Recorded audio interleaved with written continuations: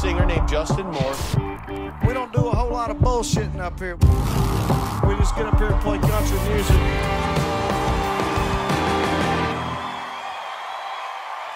The Justin Moore podcast is sponsored by Bobcat. Visit them at bobcat.com.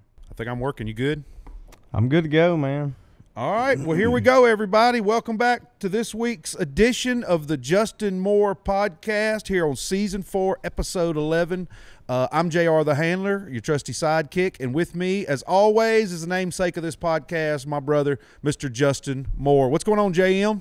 Yeah, we missed you guys last week, which was was my fault. Uh, I had a ton going on, and we, uh, if you guys um, remember, we had crazy weather uh, across much of the South, uh, in particular, and and uh, three days. I know we got three days straight of, you know, severe thunderstorms, tornado warnings, and craziness. So, um, and then we were busy with, you know, getting ready for Easter, and so anyway, sorry we didn't know we were going to miss, but we did. Uh, but it, it It's all good. But- yeah, I was gonna yeah, say, hey, but so- even you know, you try to skip school growing up. You want to skip school for stuff, and then every now and then you really got to miss for something. It's when you don't want to. It's like you know, it just sometimes you just got to miss. But yeah, we didn't plan on that. But uh, hope everybody jumps back on and listens this week because we got a lot to talk about. Because hell, I ain't even talked to you really. Just we did a show the other week in Georgia and we hung some. But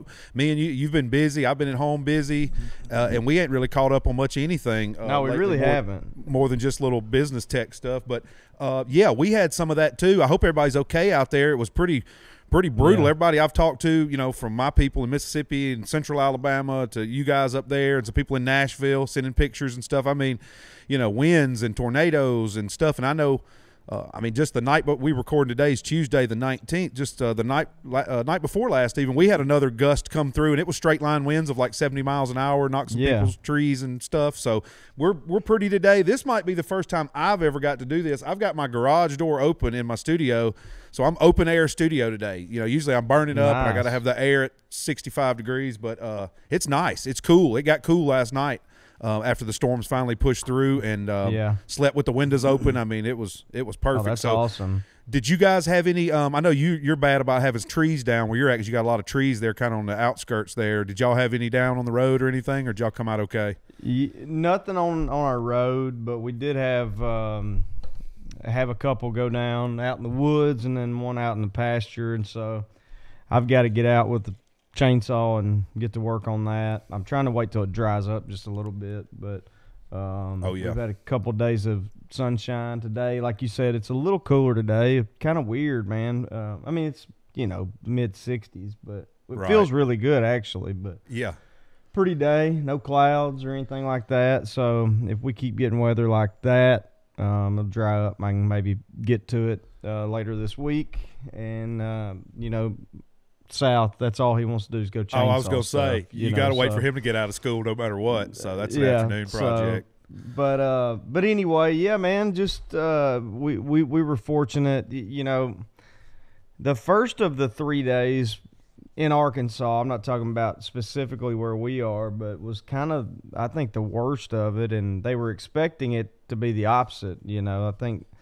Uh, I think it was a Monday through Wednesday, if I'm not mistaken, or a Tuesday through Thursday, something like that, and and so we were expecting, uh, you know, to maybe have to go to the uh, safe room or whatever, you know, and it, it, it ended up not being that big of a deal. And I was going to ask you because we talked about this on the radio show, and I don't know if this is an age thing or or if I'm just a strange guy or what, but I've gotten to where I almost enjoy. I don't want anybody to get hurt, obviously, and I don't want any property to get damaged and stuff like that. But assuming neither of those things happen, I've almost gotten to the point where I enjoy severe weather and watching all of the uh, weather guys and gals uh, talk about it in real time. Is that crazy? Uh, I, I mean, a, a hair, but uh, yeah, I'm in the same boat. I watch. We we can't. We're like, ooh, let's go see what Alan Seals is saying about it. And yeah, we watched the. We we we definitely uh, are zoned in, and I'm worried about the areas. And I, yeah, I don't think I worried about it as much back then.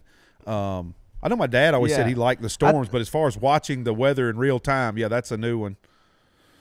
Yeah, I mean, I, I almost enjoy a good storm. It's crazy. I, I, I and I never did. And I, I, I remember my grandpa. He, he would watch. I mean, he would watch the Weather Channel like twelve hours a day. Right. And I'm like, it's nothing's happening. It's the same. I mean, you know, you know what they said it's going to do, and they're saying the same thing over and over. And I've got to that point, man. I don't know what it is, but but anyway, so it was. I was somewhat disappointed it, it wasn't worse, but but, but Yeah, glad that but glad, that but yeah. nobody around here got hurt and nobody had any property damage. We didn't lose power, which is good, and because we're susceptible to that. And um, but anyway, that's why we weren't with you. Plus, um, obviously Easter. Hopefully, everybody had a good Easter out there. Uh, we didn't really do a a ton, quite honestly. We usually get together and have lunch or something like that as a family, and that was the plan. But Ella had a, a softball tournament uh, up in uh, the northwest part of the state here in Arkansas, Bentonville, Arkansas, which is north of the school. And so that's like a four four plus hour ride for us and and so speaking of the weather we got up there we, we played friday night um this past friday night play our first game and then we're supposed to play at eight the next morning and it's just terrible weather it's in the 40s it's rainy miserable and so we're all thinking and kind of hoping, quite honestly, because we knew we had church stuff Sunday for Easter and that kind of stuff, um, that it was going to get canceled. Well, they kept pushing. It was like being at the airport. When your flight keeps getting delayed. So they push it back an hour and then another hour. And then I don't think we ended up playing till noon or something like that. And then um, we played really well and won a lot of ball games. So we just kept playing back to back Oh, to back wow. to back to back. And Long we didn't get day home at the ballpark. yeah, we didn't get home till like two or three in the morning. And then obviously up for church. And so I guess we got third out of, I don't know, 15, 16 teams, whatever it was. So they played well. And we really had an opportunity to win the whole tournament. We got beat by the team that won it all. And we're we're up in the last inning a run with only two outs to get to win to close the game out and we got two really really poor calls. I almost got thrown out. Uh, my buddy Keith did get thrown out, okay. um, and he wasn't even coaching. He got thrown out from the from the stands. Um, but uh, but yeah, so played played ball, played well. Ella had a good tournament. Uh, Audrey had a great tournament. She's she's pitched on our league teams before, but we decided strategically because she pitches a little slower and she's a lefty, so it's different angle and stuff. Uh, and most of these teams are used to hitting faster pitchers, you know, and so we thought let's let's throw a little wrinkle at them and see. Uh, in this in this game, this one particular game, if it works, and uh, she it was awesome to see her. She she pitched great, two full innings, went all the way through their batting order once. Uh, and so we we got us another little uh, tournament pitcher now. We, There you go. kinda- she's been developing, and and so we said let's just give it a go and see what happens. She pitched another time or two in the tournament, so pretty proud of her. I know Brock cousin was, coming uh, through. but yeah, it was awesome. But you know the other thing is. Um, as you know, uh, another reason we weren't on with you last week, Ella got the flu, as did four or five other girls on our team. So for them to go out there and and play as well as they did, all of them with of the that. flu, Yeah. you know, it, it was it was pretty impressive. So Is she better now? She is, you know, it's it's been a kind of the way. I mean, literally, we had one, two, I think five of our girls uh, had it, if not six, have had it. Tucker's got it right now, um, and so it, usually the first day they're kind of they're real puny, um, and then then it's kind of a mild, kind of almost sinusy kind of thing. Right. Uh, but they, you know, they were just a little more lethargic and that kind of stuff. So it was even more impressive that they played so well. That's awesome. Well, no- so none of the parents got sick. Everybody's good. Not yet. I think one one of our dads got sick, um, and he said it was it was rough on him for three or four days, but so maybe it's milder for the kids. But I mean, it was it just kind of ran all the way through our team. you Right. know? Wow. Hey, while while we're on the medical minute here, um, how about uh, one of your most uh, hated things over the past few years is finally coming to an end? Mask at the airport. Yes, it- finally came to an end as we're as we're doing this podcast yesterday. Yeah. And uh, Basil, my co-host on the radio show, as you obviously know, Yep. he was coming home yesterday from Italy. He and his girlfriend, longtime girlfriend, were in Italy last week, and Yep. And um and I asked him because they were. I was watching on the news. Could this you imagine morning. him in Italy? Could you imagine Oh him bebopping gosh, around just Italy? snapping pictures and just over the top about everything. And yeah, I wonder what he wore. I wonder what he wore. I need some pictures of this. But anyway, sorry. So he's Oh, coming yeah, back from was- long he flight was back. Sending us pictures.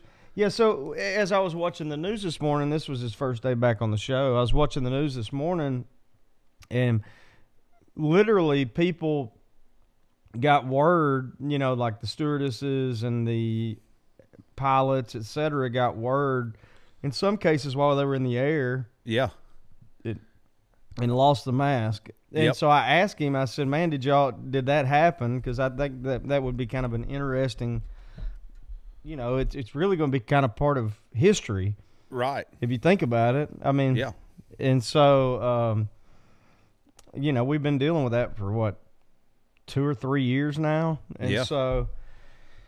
He said no that he um he they missed that window or whatever uh, their travel time, but Right. uh, maybe yeah, people were just taking them off right in the airplane in the airports, people cheering, you know. So, Yeah.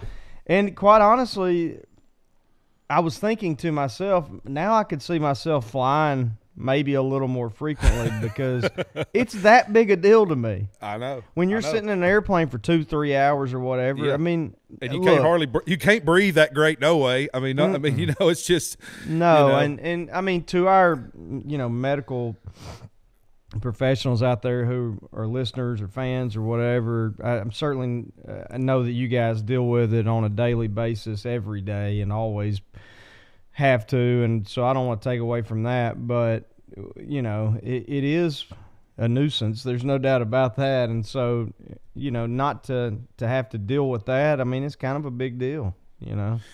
Yeah, I mean, um, and, and it gives everybody the choice. You know, freedom, America. You can wear one if you want to. Right, but you exact- don't have yeah, to. exactly. That's where I'm at. I'm like, because I, Right. because I know some people will stank breath, don't need to wear them, and if you're sick, yeah, you should probably wear one. And I tell you something I've said since pre thing. What about we all learned in elementary school like arms length apart? How about let's just do that in Mm-hmm. general? You don't got to go six feet. How about but just don't all be all up on me.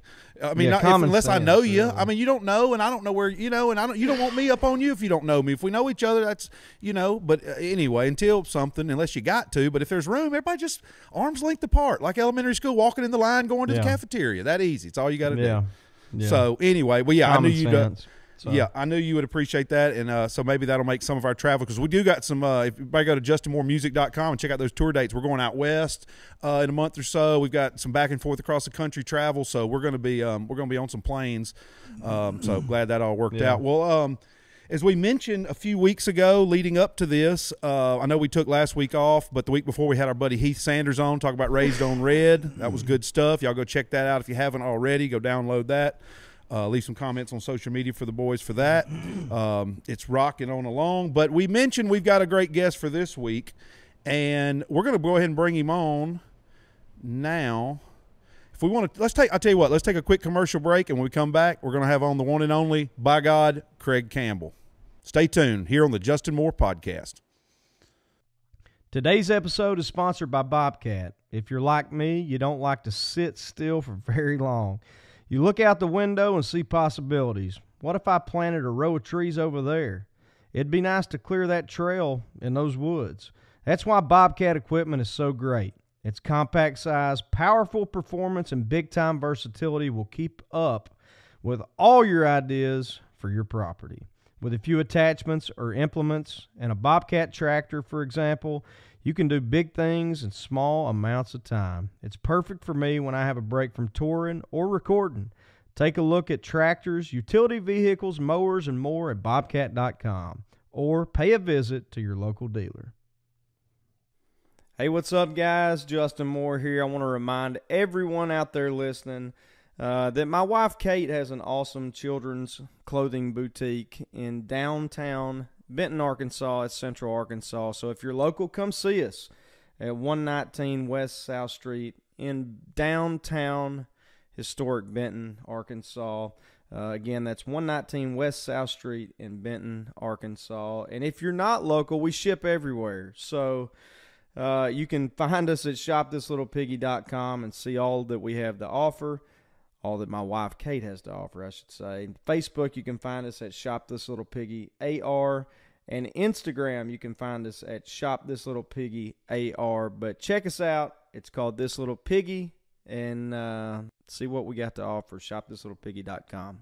Hi, y'all. This is Brandon Bing, singer, songwriter, and whiskey maker. You're tuning in to the Justin Moore podcast. Visit EasyLiquor.com to grab your bottle of Bangtail whiskey and join the Blue Collar Swaller family today. Follow us on all socials at Bangtail Whiskey for more news and updates. Now, pour Jigger and take this a second ride with us. Hey, gang. As y'all have heard, the Justin Moore podcast has recently teamed up with Wrangler. Wrangler has been an icon in authentic American style around the world for more than 70 years. With a rich legacy rooted in the American West, Wrangler commits to offering unmatched quality and timeless design. As y'all have heard me and Justin talk about on here, George Strait and Alan Jackson, they're Wranglers. We wear Wranglers too. Its collections are also for men and women, children, to look and feel great, inspiring those who wear them to be strong and ready for life every day. Wrangler is available in retail stores worldwide, including brand flagship stores in Denver and Dallas, department stores, mass market retailers, specialty shops, Western outfitters, and online. For more information, visit Wrangler.com. And you know you've heard it here and you've seen it on stage. The Justin Moore podcast. Dang glad to be partnered up with Wrangler because we're big fans and have been for a long, long time. Can't go wrong with a nice pair of Wranglers, y'all. I wear the Wrangler Retro. Uh, Justin wears the black one some. It's just it's my go-to. Um, I get mine at Academy. So if you're uh, around an academy or just about anywhere, you can get you a pair of Wranglers. Whether you want to look like George Strait, or you want to look like JM, or you want to look like me, you can get you some Wranglers, and you can do that. Whether you're in North California, or South Alabama, or Montana, Texas, Ohio, Wyoming, wherever, pair of Wranglers will get the job done. Long live cowboys and plowboys. For more information, visit Wrangler.com. All right, got him pulling up here. Let's see. All right, everybody, welcome back to the Justin Moore podcast. We're hooking up with our brother, Mr. Craig Campbell, as we speak on the Zoom machine. Uh, I see his name. It says Craig is connecting to audio. I believe Craig's been connected to audio uh, for a while. I don't, I don't know if that's the right caption they need to use down there. Maybe this specific one. Might have to, there he is. He's sideways. Might have to flip you on the. Might have to flip you the other way. Well, damn it, I did. Sorry, Yeah. sorry, buddy. There you There go. you go. Well, There he then- is. what about? There we go. The full effect. Well, uh, there we go. Hell yeah! What's happening, Hey, brother, how are you, man? man? I'm doing up, so buddy? good. Hey, man. Good to see Well, you. Kind of. everybody- I mean, you know. Welcome, Good, good. Craig. Craig Campbell, by God, to the podcast. Here My he is. God. I see what you What's- did. What's going on, man? You you've been uh, you've been slammed.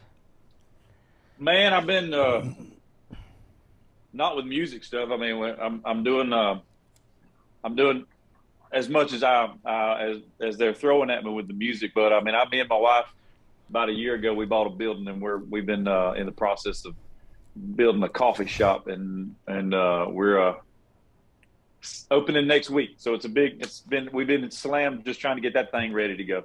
Yeah, yeah. I kn- that Jr. sent me the um, the link to an article about it, and I was reading it, and we were both talking about. it. We're like, man, what a cool idea! Great idea. I I um just so you know, my wife and I, along with another couple friend of ours, this was maybe I don't know what three four years ago, Jr. Five years ago. My wife always wanted to open a uh, a children's boutique, and I kept going. Eh, I thought it was just a phase. Like I'm like, well, do we really want to deal with that? Uh, you know, whatever. And she kept on and kept on. So we kind of did the same thing. We bought an old historic building in this little downtown area near um, where we live, which is about 50 miles south of Little Rock for some perspective for you. Yeah. And and man, I remember all the work that went into that. Uh, you know, we had to restore the building and the, you know this whole thing. But it, I, I read where you guys kind of said it was a labor of, of love for y'all, and that's kind of the way this was. Not necessarily for me, but for my wife. And so, point being, I I I mentioned you being slam busy because I remember being incredibly busy doing that with you know music stuff, obviously, but but um, it, it's amazing what all goes into opening a brand new business. Yeah, and, and you know we we bought the same. We did the same thing. We bought this old building. Half of it was built in the 1800s, and then there was an extension, which is where our coffee shop is, that was built in the 30s. Um, and whoever had it before us, obviously, it's passed down uh, in a few different hands uh, over the generations. Um, they didn't, you know, they didn't plan ahead. They didn't. Uh, so when we started peeling some layers back, it was it was in terrible shape. Um, a lot of the floor was just completely rotten and, and some of the walls. But uh, so yeah, we we did that same thing. We stripped it down to absolutely nothing, down to the to the bare walls, bare pulled all the electrical out of it, all the plumbing came out of it, and just started from scratch. But it's literally taken a solid year to get from the time we took possession of the building to uh, finally getting to open uh, next week. Yeah, that's got to be exciting. So, are you a handyman? Like, can you do that stuff by yourself? Because I I'm can do- not. I, I can do demo work.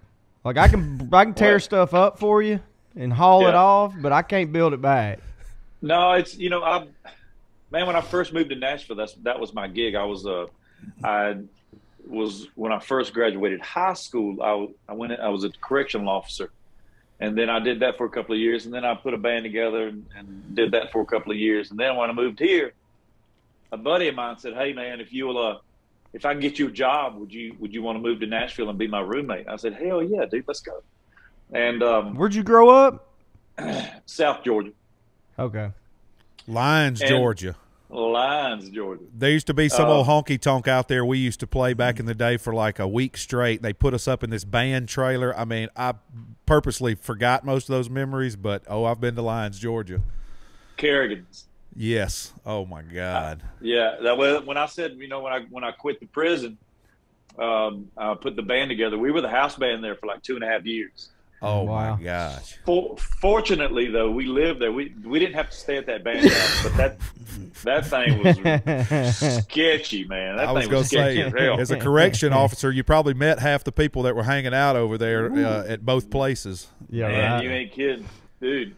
But yeah, he got he. My buddy called and said, "I'll get you a job," and it was a, I was a maintenance man at an apartment complex, uh, and a lot of that stuff, uh, you know, I didn't know how to do, but I was so motivated to move to Nashville. I told the lady hiring me, I told her straight up, I said, "I don't know how to do any of this stuff." I said, "But I am a quick learner." Uh, so I learned a lot on the job with that. But you know, we remodeled a house. Um, actually, I built a house not far from here, and then we remodeled this one we live in. And I just I learned a lot just by YouTube and, and trying to save a little bit of money. And lots of times when you're trying to save money, you end up costing more money if, if you've had somebody do it do it professional. So, I so to answer your question, handyman, a little bit, but not. I mean, I don't I don't claim to be. right. Well, you guys must. Well, you guys must like coffee, and uh, that's what we were saying. We're like, you know, anybody can open a bar, and you got, but th- there's times and clientele and all that stuff, and, and inventory and all that. And I thought coffee shop, perfect, and, gr- and a great name too, the Grindstone Cowboy. I love it. Yeah, Yeah. And, yeah. and, and and just you know because everybody drinks coffee. I mean, just about. I mean, probably ninety percent of America drinks coffee. Uh, you're in rural Tennessee, but you're on right on the outskirts. Uh, not on the outskirts of heaven, but you're on the outskirts of Nashville. uh, I'm gonna quit doing that. I promise. Um, but He's on a roll. yeah, I know, He right? on a roll. I love it. Watch out. Uh, but you're down in Eagleville, which is Triune, south of Nolensville. That's South Nashville, out on 840 Loop out there. Beautiful country. I'm talking about That, just that beautiful country rolling. out there is really, really pretty. I mean, uh, a lot of people remember uh, what was the Blake Shelton video he recorded driving the truck out out on 840 there, uh, Some Beach.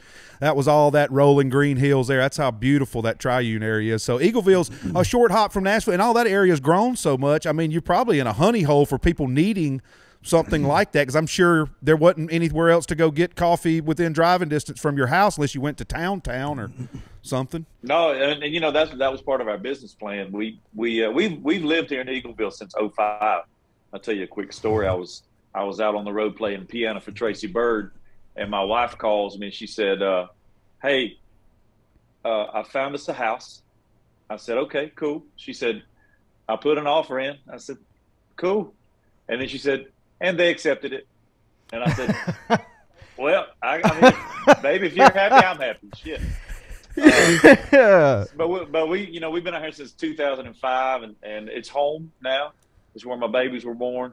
Uh, but when when the idea came about opening a coffee shop, I just I actually came up with the name first, and then just roundabout just I started thinking about well, what what does it take to open a, a coffee shop? And I also wanted to be a music venue, and Okay, I Oh, gotta interrupt. I gotta interrupt you for just a second, because the first thing I thought of was um Rhinestone Cowboy. Obviously, that that had to be part of it, right?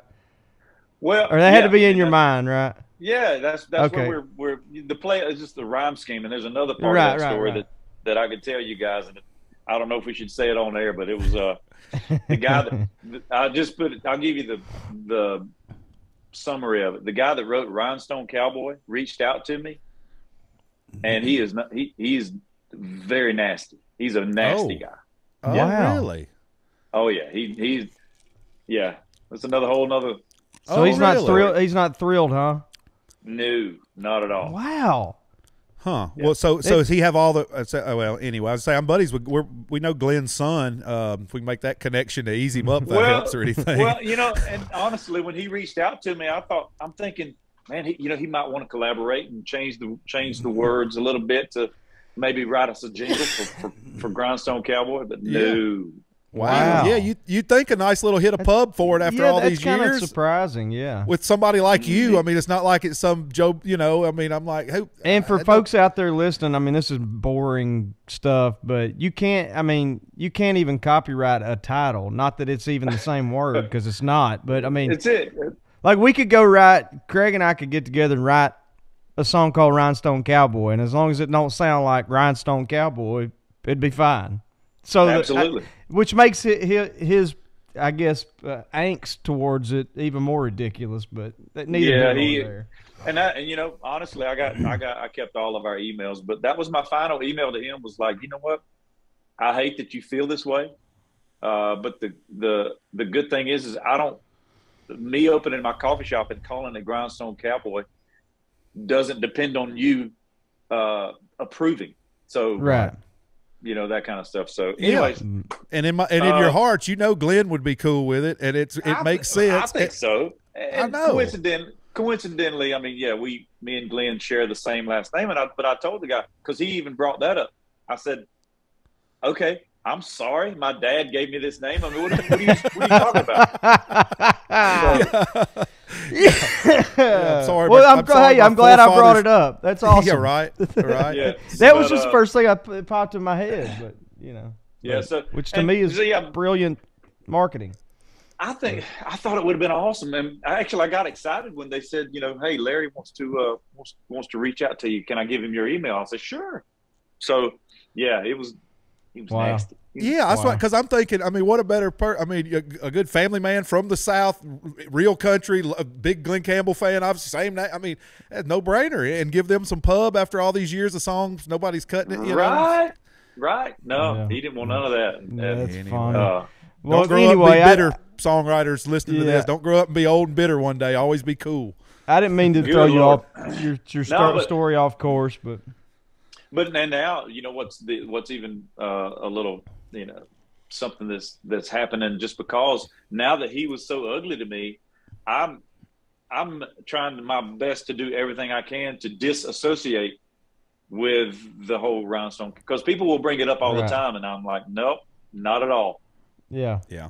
Um, but you know, going back to the just the, the the whole coffee shop thing, we we we lived here in Eagleville, and and and I, I love coffee, but I realized there was um, there was not a drive-through coffee shop within 20 25 minutes of any direction of, of Eagleville, and um, the traffic that goes through Eagleville, they um, they did a census was like ten thousand cars a day, so. wow.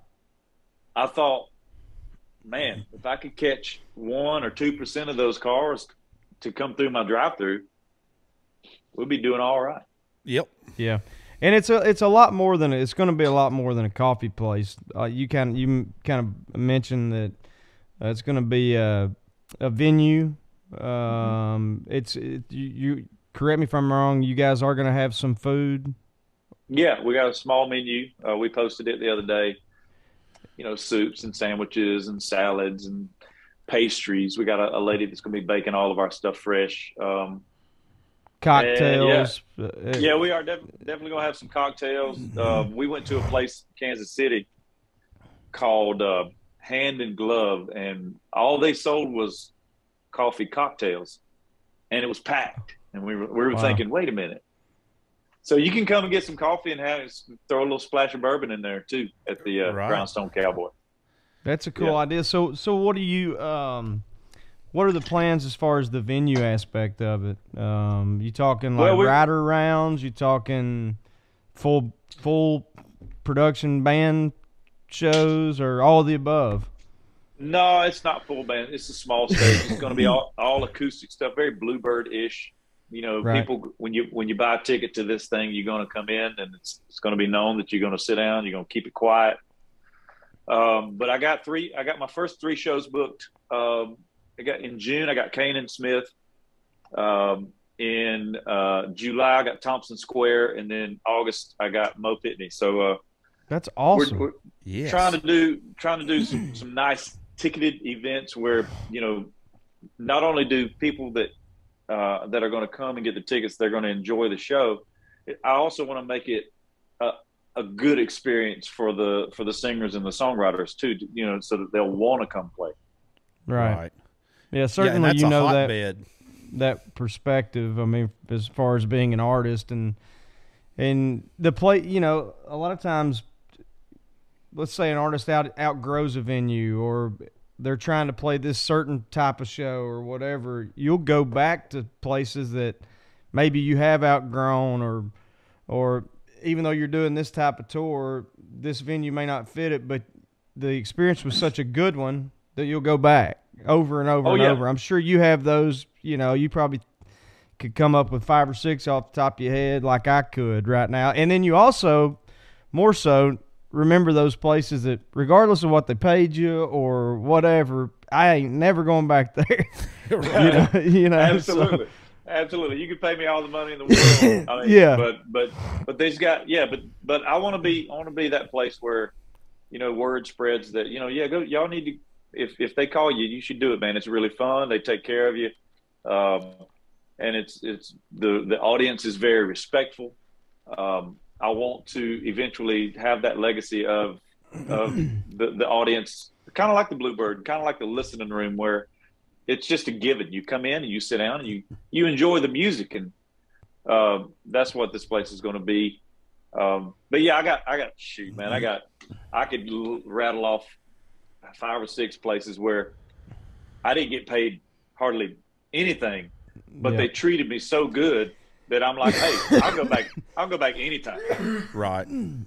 Yeah, and maybe treated you really well in the early days or something, early in your career. I know for Yeah. me, it, when I couldn't get squat anywhere else, and this place would give you a few extra grand or a, a back end or whatever, you know, stuff like that. And so, yeah, we've, I've always, that's always been uh, something I've been cognizant of over the years, is trying to, you know, return the favors to people who were good to us and. But uh, but yeah, yeah, you mentioned. Sorry, Well, I was, well, I was going to say, and that goes for everybody too, you know, because the experience you have there, if, and you know, if so if they're really good to say me and the production team or the us, and we're going to be more like, yeah, we should go do that. If or if they're not, they're like, man, you sure we want to do that again? You know, I always think of like Yeah. if everybody could take care of you like uh like Ed Warm and him do at Joe's on Weed Street in Chicago. Right. Yeah. If everybody Yeah. could just I mean, be everybody, they don't have a bunch of space, but they make do. They give you what they can. They take care of you. You know, if everybody could just run like Ed does his stuff, we'd be in good shape. Yeah, I mean Ed and, and then uh, uh, uh, Sean at Dusty Armadillo, and then, and then Yep. even like um, Stoney's. It's just there, there's a handful of these places where it's just like, you know, my rider, my rider, my full band rider, top to bottom, is probably four hundred dollars. Right. Right. And when when a venue goes in and starts scratching shit off, I'm like, come on, Yeah. man. Yeah, and you're It's- not talking about you're not talking about crazy stuff. You're talking about jars of salsa. Yeah, and a That's box, cases That- of water. Essential. Yeah. Yeah, you're like what? A case, of, you know, a, a, a Yeah. 12 pack of Miller Lite or something, or yeah, or no, or or now that now no, we don't have we don't provide a runner, or no, we don't we're not uh, we're gonna give you a buyout, a good luck for food. You know, uh, it's like Yeah. we're we're coming in here. We don't have personal vehicles. We don't. We're, y'all ask us to come here. Yeah, it's crazy. It's crazy. So- But, so, yeah. are you out touring at all right now? Yeah, Are you- I just wrapped up uh, the first little segment of my. I, I put, you know, we did this little s- series of shows uh, based around my my song I released a couple months ago. By God, and then um, Yeah. we're gonna be adding great, some by the way. dates. Thank you, man. We're gonna we're gonna be adding some dates um, to it. I mean, outside of what we already have on the books, we got a few things. Um, man, I, I don't know about y'all, but I, and I'm, I'm sure you you guys you um, aren't as in the you know as far as hard tickets are concerned. But I'm having I'm just you know overall some of these clubs they're they're they're hesitant on locking me mm-hmm. down for a, an X amounted you know a next you know a, a contract because of the way things are. People are still kind of not showing up Yeah, even though you know i'll have i've had consistently just in the last 18 months of 25% of my pre-sales not showing up right. We, yeah, yeah just, we've we've dealt with that too. it yeah, just the don't drop make count. sense Yeah, people are Yeah. buying them and drop count, and then they're just not showing up.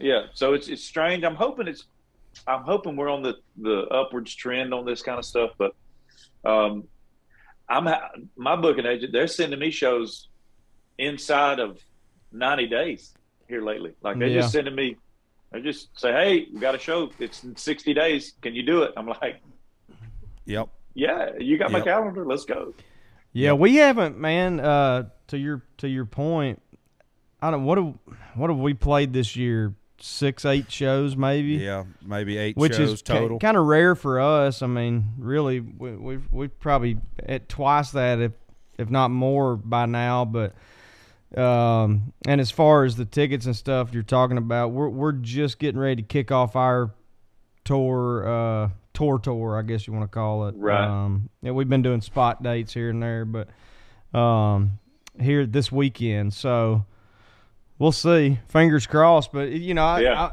we'll Jr. and I'll be talking about it at shows. You, when you talk about people not showing up, and you know, say we were somewhere and he tells me that day, I, you know, you know, we sold I don't know thirty five hundred tickets or whatever it is, and you go out there and I'm like. That is not 3,500 people. I promise you. Like I've done this long enough now, I can kind of get a pretty good, you know, count in my head, like you can, I'm sure. Yeah. And and so yeah, it's it's it's wild, you know. yeah it is it, is strange Yeah, And but but then, you know, then we have uh, on the flip side of that, we'll have a terrible pre-sale number, but then you'll have a walk-up of like, and, and the room is packed. It's just, uh, Right. it's strange. Yeah, It, it still you- depends too on where you go. You know, there there are obviously places that you know, like where I live and where Jr. lives, and even I'm sure there in Eagleville. I mean, you know, if you were to play somewhere there, people are over it. They don't care. They're not concerned. You know, but sure. you, you know, we're. I know we're going out to California here in the next month, and who knows out there. And um, just for example, Mm-hmm. so Right. Yeah, last time we were out there, it was like that. You know, one night we're we sold half the tickets we had done three years before that, and then the next night we go somewhere and oversell somewhere we've never played and it's packed and then and and, and then we I was telling people that you know the drop count was a, the percentages across the board were like 60% of people actually showing up and that was every promoter I was talking to and and it would happen like you were saying, Craig, it would be one night you don't know, and then the next night we go to some, you know, county fair somewhere that's supposed to be three or four thousand people. There's eight thousand people there. You know, it's Right, like what what, ha- what happened yesterday? You know, so it, Yeah. it but hopefully we're we're getting over Man, that. I know money's tight, and you know, but this we were talking right before you jumped on. We got the mask mandate gone, so maybe that'll ease everybody's travel a little. Yeah, that's what I was about to say. I, you know, I feel like uh, the the the mask mandate being lifted, I think, will help out a little bit. I, I, I true, I do believe that. Yeah, if nothing else, just just people's perception. You know, Yeah. I mean, it just visually not having to see it. You know, it can ease people's minds. As as silly as that is, but uh, yeah, I've, I've said from I've said it for a long time, man. The whole mask thing is is, you know, it, it puts people in bad moods. Whether whether it's the person that doesn't want to wear it, having to always always be on defense. That's the way I feel. You know, when I'm Right. walking around and I don't have one on, I'm in my mind, I'm daring somebody to say something to me right. please please say something to me so i'm always on that edge and then there's people that do believe in the in wearing them and, and so they're and they're mad at us for not you know it's just everybody's got a reason to be upset about it but man i just hope now that the travel mandates for masks are gone it'll it'll ease up a little bit Yeah. So, um, so the, what when you get back on the road? You mentioned you you'll start back, but I I I, I missed when you said, or you just kind of Oh, well, I ain't, mean- ain't stopped. Well, yeah, we're not really stopped. It's just like you know shows weekend warrior stuff right now. Like Saturday, I got a I'm playing a mud park down here in Mississippi, uh, and then Sunday I'll be in Boston doing a doing a uh, an acoustic festival throughout the whole town of Boston or city of Boston, uh, and then yeah, just hit weekend stuff here and there. Yeah, that's kind of where we're at. I don't know, man, if it's getting older or having done this for the, the length of time I have now. Um, it, you mentioned hard tickets, um, and so uh, I've got to where, man, I like those soft ticket shows. You better lot, believe it. Lot, lot less pressure, man. If if uh, if it don't sell well or whatever, you still get your pay, your paycheck, and you can blame it on uh, the promoter didn't do their job or the festival people or All what- day. whether it's All right or wrong. so I don't I don't know, but um, but yeah, man. So you've uh, I've done this now on the road for 15 years, and you've done it a lot longer, or at least longer. I don't know how much longer than me, because you mentioned earlier you were you were a, a road musician before the artist thing. Um, I don't. I think So, yeah. people would. I, I don't want to say surprised because if they've seen you play your shows, you obviously get a great idea of it. But p- where I'm going with that is Craig is an incredible musician, not only singer but actual great musician. Where the rest of us just kind of pretend, except for Paisley and Keith Urban. The rest of us just kind of stand up there and pretend like George Strait. You know, it's like, but Craig can actually play, but. Well, I mean, you know, I, I yes, I mean, piano. Piano's my first instrument. I, I moved. Uh, I moved to Nashville, and that's kind of how I kind of got my foot in the door with, with because all I wanted to do was was make money, playing music, like or not make say make money, pay my bills. Right, yeah. Um, Earn a living playing music. in, in Nashville. That's what I wanted to do, and so that's how I kind of just introduced myself to everybody. Was you know I'm a I'm a piano player. You know, if y'all need one, holler at me. Um, so I I was friends. We had some mutual friends with Luke Bryan early on, um, and Luke needed a piano player. So I met. I I went out and played for Luke for a little while, and then he was like, "Hey, wait, you know what?" He said, When was that, Craig? And I asked for a reason. Tra- "Yeah, it was before Tracy." So I think something like 04 okay. ish. Because I, I moved that- to town in o- 02, and I, I met Luke and knew Luke, oh, probably, I don't know, 04, 5, 6. And then we played some shows together in like 07, 08, something. So I didn't know if you would you wouldn't have still been with him. I don't guess that long. No, man. I, when I when I say I played for Luke, it was a very short stint. I mean, probably a half a dozen shows. Um, it was before he had his record deal, so we would just go down and do some some s- southeast Georgia shows at some of these college towns.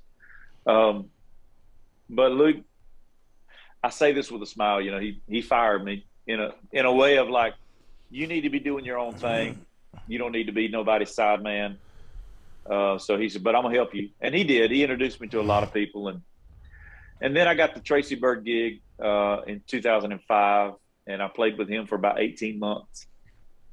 Then that's when I really started focusing on like, you know what, I I, I think this is what I want to do now. I want to not only do I want to make a living playing music, I I mean I want to I it it really got into me whenever I, I was playing piano for these guys and we would drive up and you know they'd play these sold out shows and their name was on the marquee and people were singing along to songs that weren't on the radio. And i'm like what in the hell is going on here? Right. uh, i want to do that. So that's when my pursuit of of getting a record deal kind of started was was in that 2005 2006 But you grew up, but you grew up singing and playing in church. I mean, as a teenager and stuff, right? Yeah, yeah, that's you know that's where it all. A lot, a lot of us got our got our feet wet with music, you know. And in church, I played piano for my church for a long time. I I sang specials with my mama uh, a lot, you know. And I remember being a kid and hearing her sing harmony and, and not really understanding what that was, but it sounded cool. Um, and so yeah, it was. It that's where it all began. Yeah, that was my first experience as you know singing in front of people was specials is what we called them too, and that's Yeah, because my yeah. parents made me. Quite honestly, Right. you know, like all right, it's time for you to sing a special again. And plus, when you grow up in town, three hundred people, man, you can imagine there's not a whole lot of us that sing on key. So, you guess who gets all the the solos and the Christmas and the Easter and everything. so dude. I, hey, I'm with you. I like. I'm. I was known as the uh, the uh, beauty pageant singer. Like I, I every every beauty pageant in, in my hometown or surrounding counties. Oh, you know, call up old Craig. He he'll do it. You know, and and yeah. sang at a couple of weddings too. So yeah, it was. Uh, I was I was the the small town go to guy. Well, you said so. You said you always wanted to to earn a living playing music. Um, that didn't start for me until I was like, I don't know, 17, 18 uh, years old. So for you, was Same. it? So did you play sports or anything like that growing up, or was it all music? Yeah, I mean, I lived so far out of town, man, and we didn't. My my mom and my stepdad both had eight to five jobs, and so getting me back and forth to practice was just was never in the Tough. in the cards for me. So, you know, it was either outdoors hunting and fishing and riding four wheelers, or or it was sitting down at the piano. That was my Yeah, that was my extracurricular after school activities. got it. That Got piano probably kept you out of more trouble than the four wheeler did. For, for sure, it did. Yeah, I always sure it said that. did. I always said Early that. on, and then when you got that record deal, like me, it probably got you into a little bit of trouble. it did.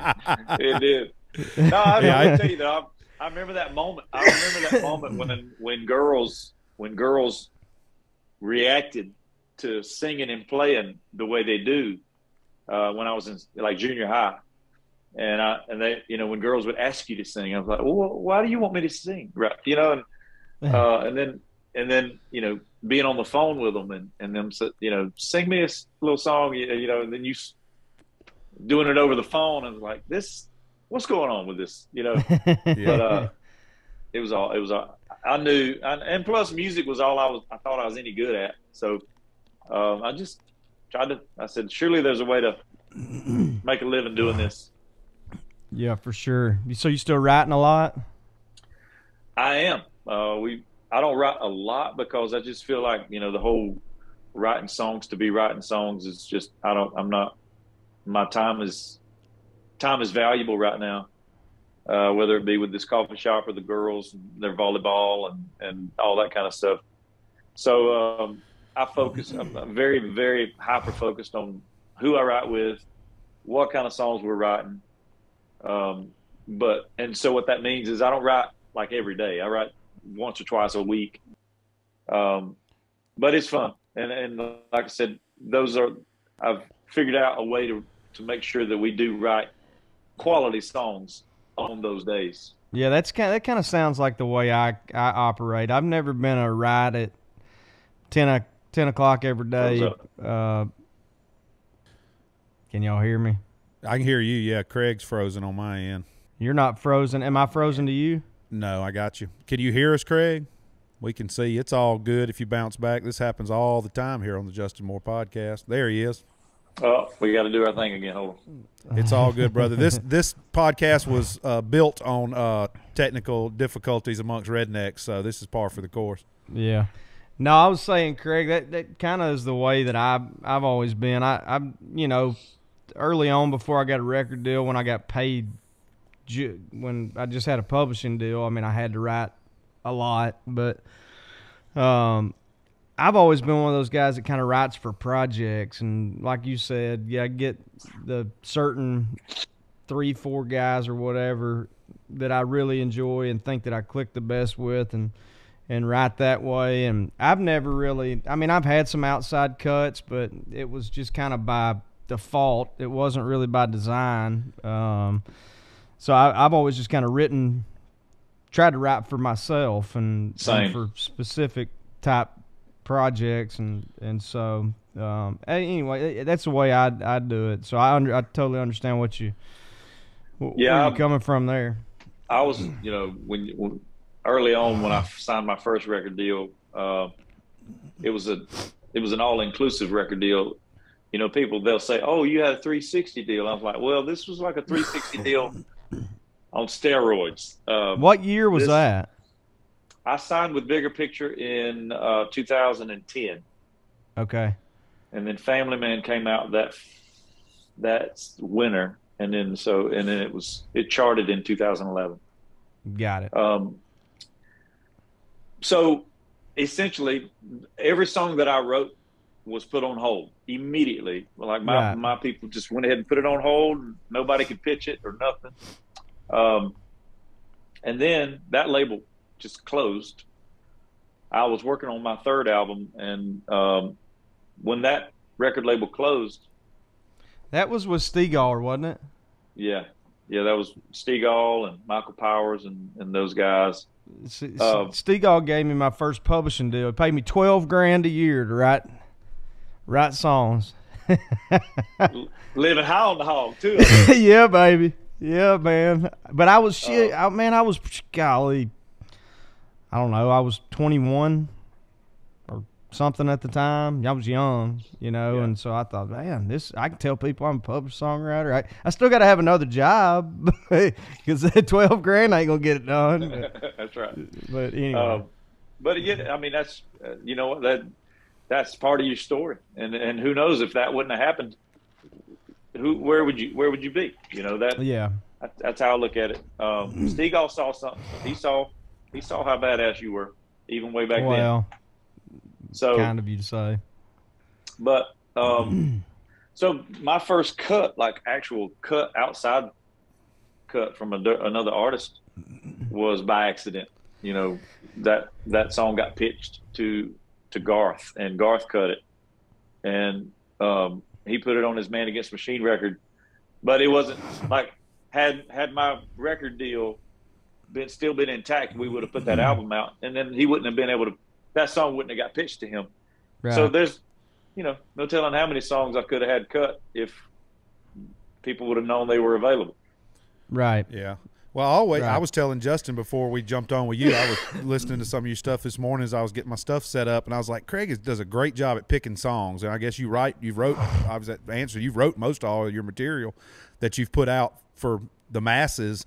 And uh, yeah, man, you do a great job picking songs to put out. Like I was thinking, like by God, I mean, what a because you ride the line, you get the message across, but you because you're a family man Christian, but you still come from the outlaw roots and the country Right. ways. I mean, I, I love clever. I told Justin, I was like, yeah, it just it's perfect. It's Southern rock country, right down. It's just good old what I good old guy who grew up in Georgia singing at the church.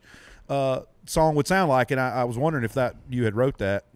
Um, yeah, I wrote I wrote by God with Thomas Archer and, and uh, Jordan Walker, and he, you know they Jordan had that idea, and I say by God all the time. It's just Mhm. part of my my vocabulary. And as soon as he said it, I was like, "Yeah, let's go with this." Uh, and we did it on a Zoom call just like this, which was kind of weird, but um, it, it worked out. And, and I just started playing it out live. You know how it goes, and, and people reacting in, in the way they were reacting. I said, you know, I said it's probably worth paying attention and cutting this thing and, and just doing something with it.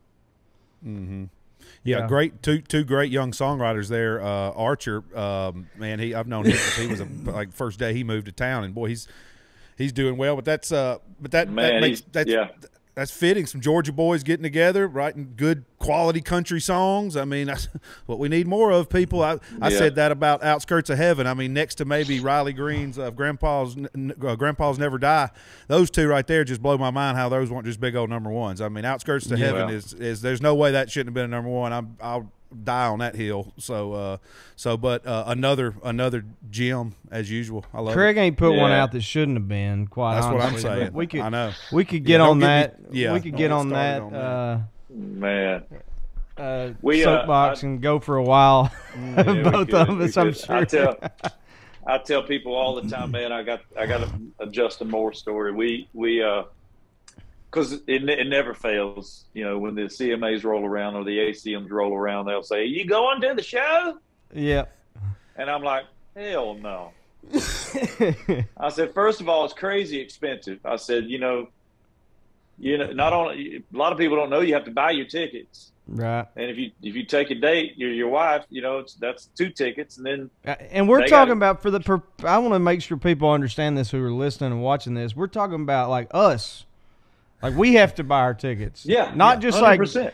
a fan to go to the show. Like they'll want you to go to the show, but you have to purchase your tickets Yeah. as Yeah, an artist. and- and everybody Yeah. does. Even the, the the people on the front row, their their label or some or their management, somebody bought those tickets for them. I mean, somebody Yeah. there's a there's an invoice somewhere. And then you're looking at however much your wife wants to spend on a dress, and that she'll only wear that one time. Yep. Uh, and then it's just the the, the without getting too crazy. I'm just you know the, the the whole politics of the whole show. Yeah. Uh, and I, but I remember you, me and you. I was actually me, me and my wife. Something happened at a at a show, and I was like, I'm ready to go. We got to get. I mean, I can't take this shit no more. so uh, we head to the elevator, and then we meet you and your wife at the elevator, yeah. and we were talking about how you know just being a little a little frustrated, but not. I wouldn't say mad, but just. Uh, and I talked about, you know, the how my my brain was working, and then you were like, "Dude, I've had like six number ones in a row, and I can't get arrested at this place." And I, that just that hit me hard, man. I was like, you know what? I'm I'm over here being frustrated, and I haven't even had like real radio success, like guys like you and, and like Lee Brice and people that have had like Dierks. You should you've never see Dierks on being nominated Yeah. hardly for anything. yeah. Billy Currington, any of those guys. So I was like, Yeah. man, I I can't complain. Well, I hope to goodness that did not come across as, as boasting about that. It was it was no, so no, not at all. I just relating to to you. Yeah. I'm- And I know you and I we've been we've probably sat next to each other. We've been we we've had a lot of these conversations over the years with our wives sitting there going, "Here they go again." At, at the, but I don't know if you happen to have heard it, but when the ACMs were on, I guess I don't know a month ago or whatever they were, I kind of went on a little rant on here, and it's not to knock anybody who are no, a I part of the it, I show. I was Oh, like, yeah. But- you. it's just like you mentioned. I mean, the Billy Curringtons. I mean, Chris Youngs. The uh, I mean, you could go on and on and on and on and on and on and on. I mean, I Any anybody anybody with a cowboy hat and, and real cowboy boots. Yeah, yeah. It- it's so crazy. It, it, And you- it it's a little odd, but it is what it is. And I've just learned to man, and I don't know if you've gotten to this point. Uh, it feels as though you have just having this conversation, but it used to drive me up a wall, and I used to worry about it and get pissed off about it, and you know, and I I just finally got to a point. I'm like, dude, all you can control is all you can control. I mean, there's nothing you can do about it. There's nothing, Nothing. I, you know, and I, I said, you're just, you're just getting yourself all worked up for, for no reason because it's not going to change. And, or maybe it will one day, but it ain't going to be because you sit here and get pissed off about it. And, Right. And so, um, and, and to your point too, I, I learned too, and I think this is a part of just getting older maybe is, I'm like, dude, you really got it pretty good if you think about it. You know, Right. you you you get to go to your earlier point. You get to play music for a living. You get to go there in a tour bus. You know, are we selling out stadiums? No, but what are, are there eight people uh, on Earth right now who do that? You know, and so Right, like right. It kind I kind of learned uh, to have a different perspective and a, a thankful perspective for what I have been provided rather than and for a long time I was just I was concerned about what I didn't have and and and so that's kind of helped me wade through the BS and and continue to navigate those waters. Oh yeah, same here, man. Like I'm, I'm um, as of late, just really adopted the whole prayer of serenity of just, you know, controlling things you can, being okay with the things you can't, and just know being able to to know which is which. And uh, but you know, a guy put it into super perspective for me the other day. I say the other day, it's been a year or so ago because uh, just again just a, a confidant situation where I was just kind of venting, if you will. Right. And he said, "Man, look," he said, "I guarantee you that no matter what level you are on, you are always frustrated as to why you can't get to whatever's next." He said, That's "I promise you this." point. He said, I promise you, Luke Bryan is sitting at the house right now wondering why he can't get whatever he's trying to get to. Even though you, you know, us on the outside looking in, he's at the top of the game. There's something he wants that he can't get. Uh, wow. Or he's, or he's, you know, hasn't gotten it yet, kind of thing. Yeah, that's great it- perspective. Yeah, it, and it, well, it kind of op- opened my eyes a little bit when it comes to stuff like that. But like you said, I'm, man, I'm super blessed. Uh, and and at the end of the day, I can't can't complain about it. Yeah. How old are your uh, girls now? Presley just turned 14. Kenny Rose is 11. So I've got 12, 10, 7, and 4. Good lord. So how much worse is 14 than 12? Because 12, 12's kicking my tail right now.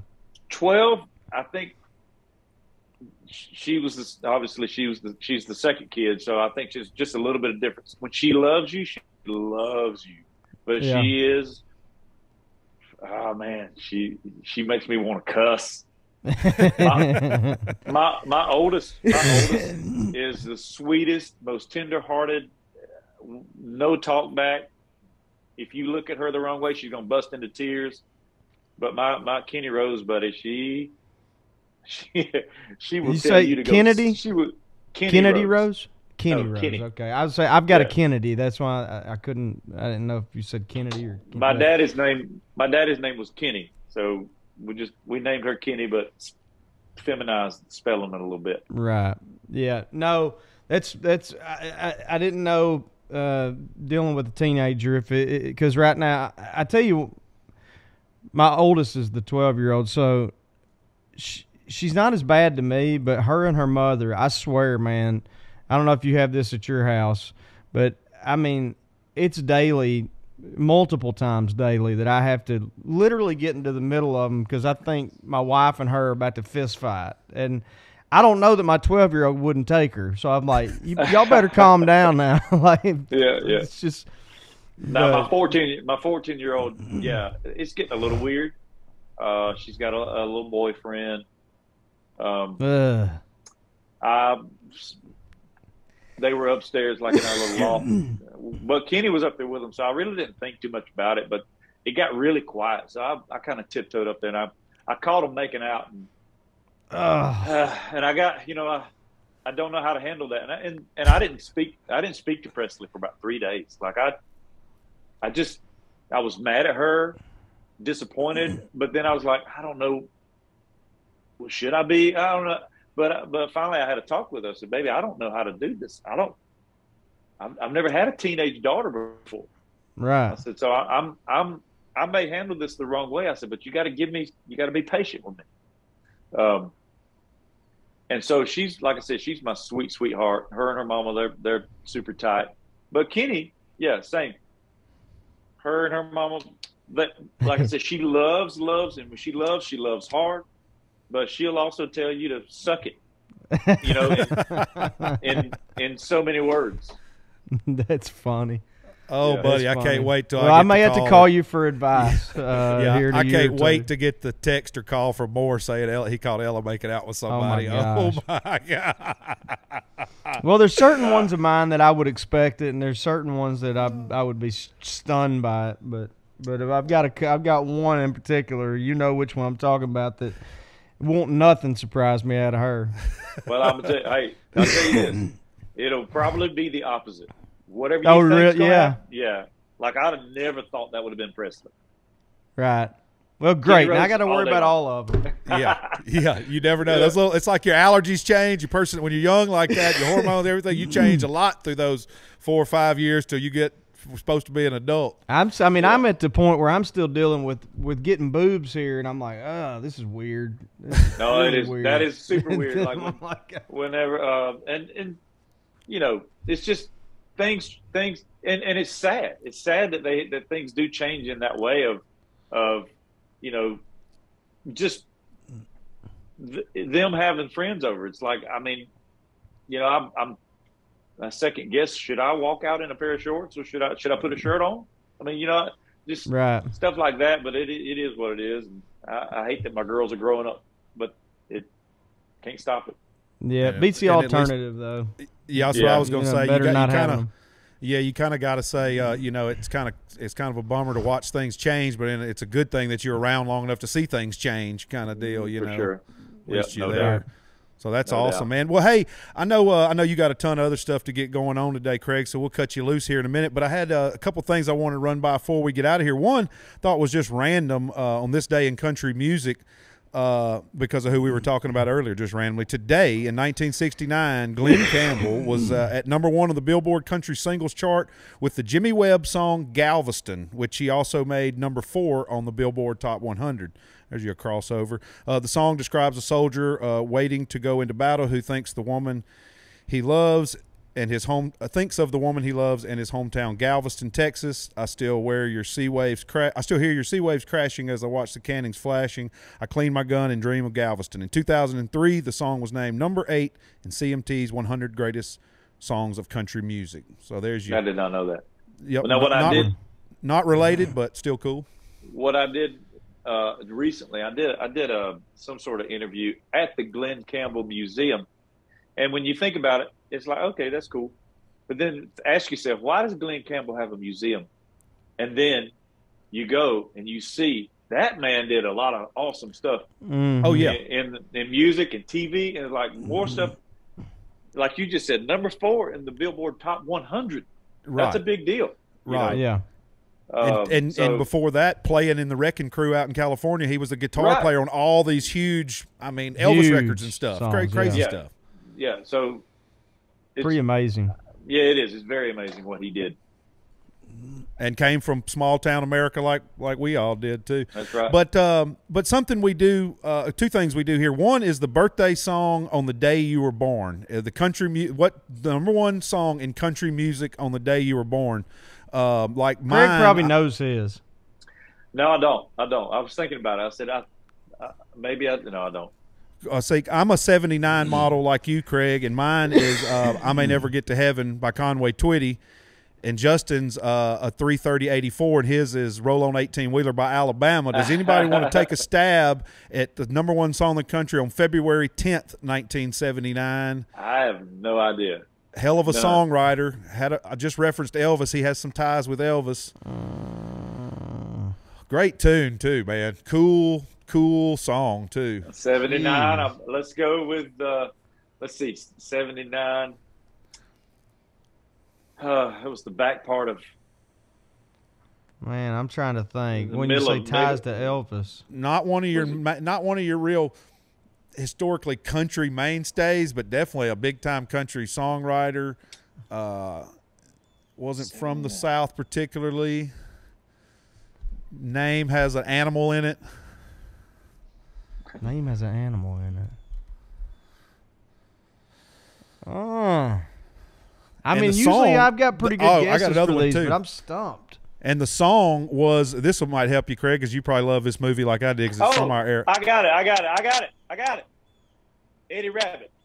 Eddie Rabbitt. That's it. I- and the uh, song. and the nope. And the song was a movie title, and it was the soundtrack to a movie with one of our favorite Western stars playing a truck Love- driver with a with a, a, a I love orangutan. Friday night. Every which way but loose. He's uh, Remember every which way but loose. that was uh Yeah. that, that was uh, Eastwood and uh, the orangutan. Eddie in the truck. Yeah. Yep, Eddie Rabbitt, Big Time, is one of Elvis' favorite songwriters. So that was the number. That was now you know that's and what a gro- groovy cool song. You know that Yeah, that it is. late Every which seventies way but loose. that late And he has And seventies. he has some really cool stuff. He did. He did. Yep. So that was uh, that's the number one song, February tenth, nineteen seventy nine. Also, something we do on here, Craig, is the uh, Mount Rushmore of country music, which we have decided after the first I don't know a couple dozen tries that our guest help, helping us is there's no definitive Mount Rushmore because there's too many greats to name. So it's a personal Mount Rushmore. So who would be on Craig Campbell's personal Mount Rushmore of country music or music in general if you got outside influences that Man, uh, I can go back to some of the. I'd say Brooks and Dunn's one of them. Uh, Clint Black. Man, I would I would have guessed Uh, Clint Black for you. Clint Black. And when I say when I say Brooks and Dunn, I'm saying like this. And I guess I should re re, uh, you know, figure out how what the reason I picked these. And I like Brooks and Dunn was one of the first cassettes I ever bought, and it just rocked my world. Uh, so Clint Black for sure. Like I'm, I'm like Travis Tritt is was uh, probably my favorite of all time. So Clint Black, Travis Tritt. Uh, Shenandoah, um, and Alan Jackson for sure. That's a I like strong list. Yeah, they, you know, I don't think anybody could deny any of those. It's just, like I said, it's too many. I mean, you could go so many ways, so it has to be personal. Yeah. But there it is, and that all makes sense. Like Justin said, he, you could, you, th- you could have picked that out. That Black with Craig Justin, you could see that. Clint Black. Yeah, and, and I mean, I, obviously it's meant to be a compliment, but um, I I think your records kind of have that similar type sound, the, as like his first couple of albums. Yeah, I mean, I'm uh, definitely, and not you know, we do we we have all these interviews and, and talk about music being influenced, and and I, I I hope people can tell that that's that I that there's flavors of all that uh, in Yeah. the music that I make, especially the music that I have control over. You know, when you were the, or at least for me, my first two records was was all Stegall, and I didn't have much say in it. Um, but these the last two years of putting out music independently, I mean, I'm producing my own stuff. I'm playing piano on it. I'm singing singing my own harmonies. I'm playing acoustic. So my hands are all over. And so I'm hoping that that is the case. I hope people do hear that and say, "Yeah, I get that. I see. I know where that Yeah. come from." Yeah, I certainly think you can. Right on. So Yeah, something with that familiarity for sure. Well, I know uh, I know we'd mentioned a minute ago about getting back out on the road. I was just looking through your tour dates here. Y'all can go to Craig Campbell TV or dot TV. Where'd that come from, Craig? How'd you get that? Somebody have that, or you just did that early in your career? Well, yeah, CraigCampbell.com was taken. CraigCampbell.net was taken. Uh, bigger picture when I was when I was signed to them, they had Big Kenny, uh, and Big Kenny had had was using BigKenny.tv, so they suggested it to me. Uh, so it was it was available, so we just took it. Craig CraigCampbell.tv, and then all of my socials are Craig Campbell TV because of that. Gotcha. Interesting to know. Yeah, but it's easy to find too. So Craig Campbell TV uh, dot TV. That's how you can find uh, all, everything about Craig. I was looking at your dates through here. Yeah, y'all are getting. You're stretching out too. You got to go up to Massachusetts, and then y'all going out. Y'all going out uh, across the pond to do a show in June. Yep, I'll be. Uh, I'm hauling ass up out of here during CMA Fest and going to do some shows in Attaboy. Europe. Get out of here. Yeah, I always said that they don't. They one they don't pay you to go. So if we're not, if we're if we're just off in the awards that week, that's even better for me. Because I got the week off, and if it and if we're working, we're going to be working somewhere that night. And there's going to be Yeah, country yeah. music fans there. So, For sure. uh, but anyway, and I checked it out. So y'all make sure I'm gonna try to. Uh, there's, I mean, I was looking through here. I hope I can be in Nashville for one of those, and so you got a few of those. Going out to Colorado, pretty weather out there, hopefully. So y'all go to CraigCampbell.tv and check out all his tour dates. Craig Campbell TV on all social media handles. Uh, go download "By God" by Craig Campbell. By By God. God. it's a good God. tune. And- And if you and if you hadn't heard "Outskirts of Heaven" in a while, go back and listen to that one again because uh, man, that, that's just a that's just a well penned tune right there. And you sang your butt off on it. I appreciate it. Absolutely, Craig, buddy. Uh, I had a ton of respect for you, man. Um, and as you, you hopefully you know, I'm a huge fan, and um, Likewise, can't- likewise, can't brother. Thank you, buddy. Can't thank you enough for uh, for coming on doing this, and man, good luck next week with the opening, and Yeah. and uh, hopefully it's it's a good one, and and uh, hopefully we can get down there and check it out ourselves in person when when we're in Nashville, and and hopefully we'll play some shows together here this summer, man. I, that would be a lot of fun. Get to catch It up. would absolutely, absolutely Yeah. be a lot of fun. Yeah, I'm gonna Awesome. send some people down. I'm gonna send some people down that way when y'all get open. I've got uh, my my my dear friend who passed, Mr. Wayne Mills. His uh, wife and kid, they still live out in Nolensville. So I'm gonna tell Carol and Jack to come check you out when y'all get rocking and uh, some other buddy. That's a beautiful part of the country out there. But uh, what are the? Do you have a website and socials and stuff for the uh, Grindstone Cowboy? Yes, yeah. So uh, the website is thegrindstonecowboy.com. Um, socials are Grindstone Cowboy Coffee. Like so, Instagram is at Grindstone Cowboy Coffee. Gotcha. Uh, Facebook, I think Facebook is the same. Uh, and that's we have a Twitter, but we, we don't we don't check Twitter much. But we we we uh, we do stay on top of the Facebook and the, the Instagram for for Grindstone. awesome. Good, yeah. Everybody needs to go check that out and go to uh, uh, grindstonecowboy.com uh, and check out. Uh, y- y'all will have um, menus up and then your schedule for all the people. I heard the lineup. That's great. I hope, man, that'd be awesome to come pop in on one of those. A small, Yeah. a small little venue like that. Everybody Yeah. acoustic, man. That's the best. You know, I know. Yeah, we uh, you know, everybody. Does, I tell people you got to go see those when people do them because a full band show is probably going to happen a lot, but those little intimate things may or may not. You know. Yeah, and this place only holds 50 people. So it won't be crowded. It'll be, you know, chill, low light, just, you know, we, it's a full bar. So um, it's, it's, yeah, I think it's going to be a great experience for whoever, whoever wants to come see the shows. Awesome. for sure. So, well, thanks again, brother. Really appreciate you. Best of luck, and hopefully we'll catch up again soon. Right on, brother. Appreciate y'all. See you, All buddy. right, Craig. See you, brother. see Thank man. you. Yeah, you too. Ladies and gentlemen, that was the great Craig Campbell uh, here on the Justin Moore podcast. Uh, y'all make sure to go check that out. CraigCampbell.tv. Uh, it's got all his tour dates up and all the links to all that stuff. And then uh, Grindstone Cowboy. What a great name. And uh, yeah, looking forward to catching a cup How of Joe there story? sometime. Yeah, really. That was interesting. Yeah, I wonder why he's so bitter about it. I mean, he I, wa- I don't. you know. I don't know. I'm trying to think even who wrote that song. Now I'm gonna have to look it up. yeah. Strange. Anyway, if they're, But, on, if they're on um, Instagram, y'all don't drill them too bad. It's all good. No. Um, but yeah, man, uh, Craig and I have known each other a while, and sounds like he'll he'll be back in an award show about about as soon as me. hey, I was I was gonna say on that if anybody wants to go look at something funny, I don't know if anybody's on uh, uh, on the socials follows my brother Mr. Chris Lee, who is Granger Smith's tour manager. He did an excellent TikTok video of recapping uh, the most recent award show. I highly encourage uh, you to go find that. oh, you need Uh, to send me that, I because I I, don't. I don't. I'm not on there. So Yeah, I'll send it to you. Chris Lee Country. Um, uh, I shared it on my uh, Facebook and stuff. Which, uh, if anybody ever ta- tries to talk to me on Facebook, I don't do the chat thing on there, so I'm not going. I don't accept stuff and anything on Facebook. That's just for family and friends. But uh, on the uh, TikTok and Instagram and all that, Chris Lee Country, uh, he had a pretty good um, he had a pretty good recap of the whole thing.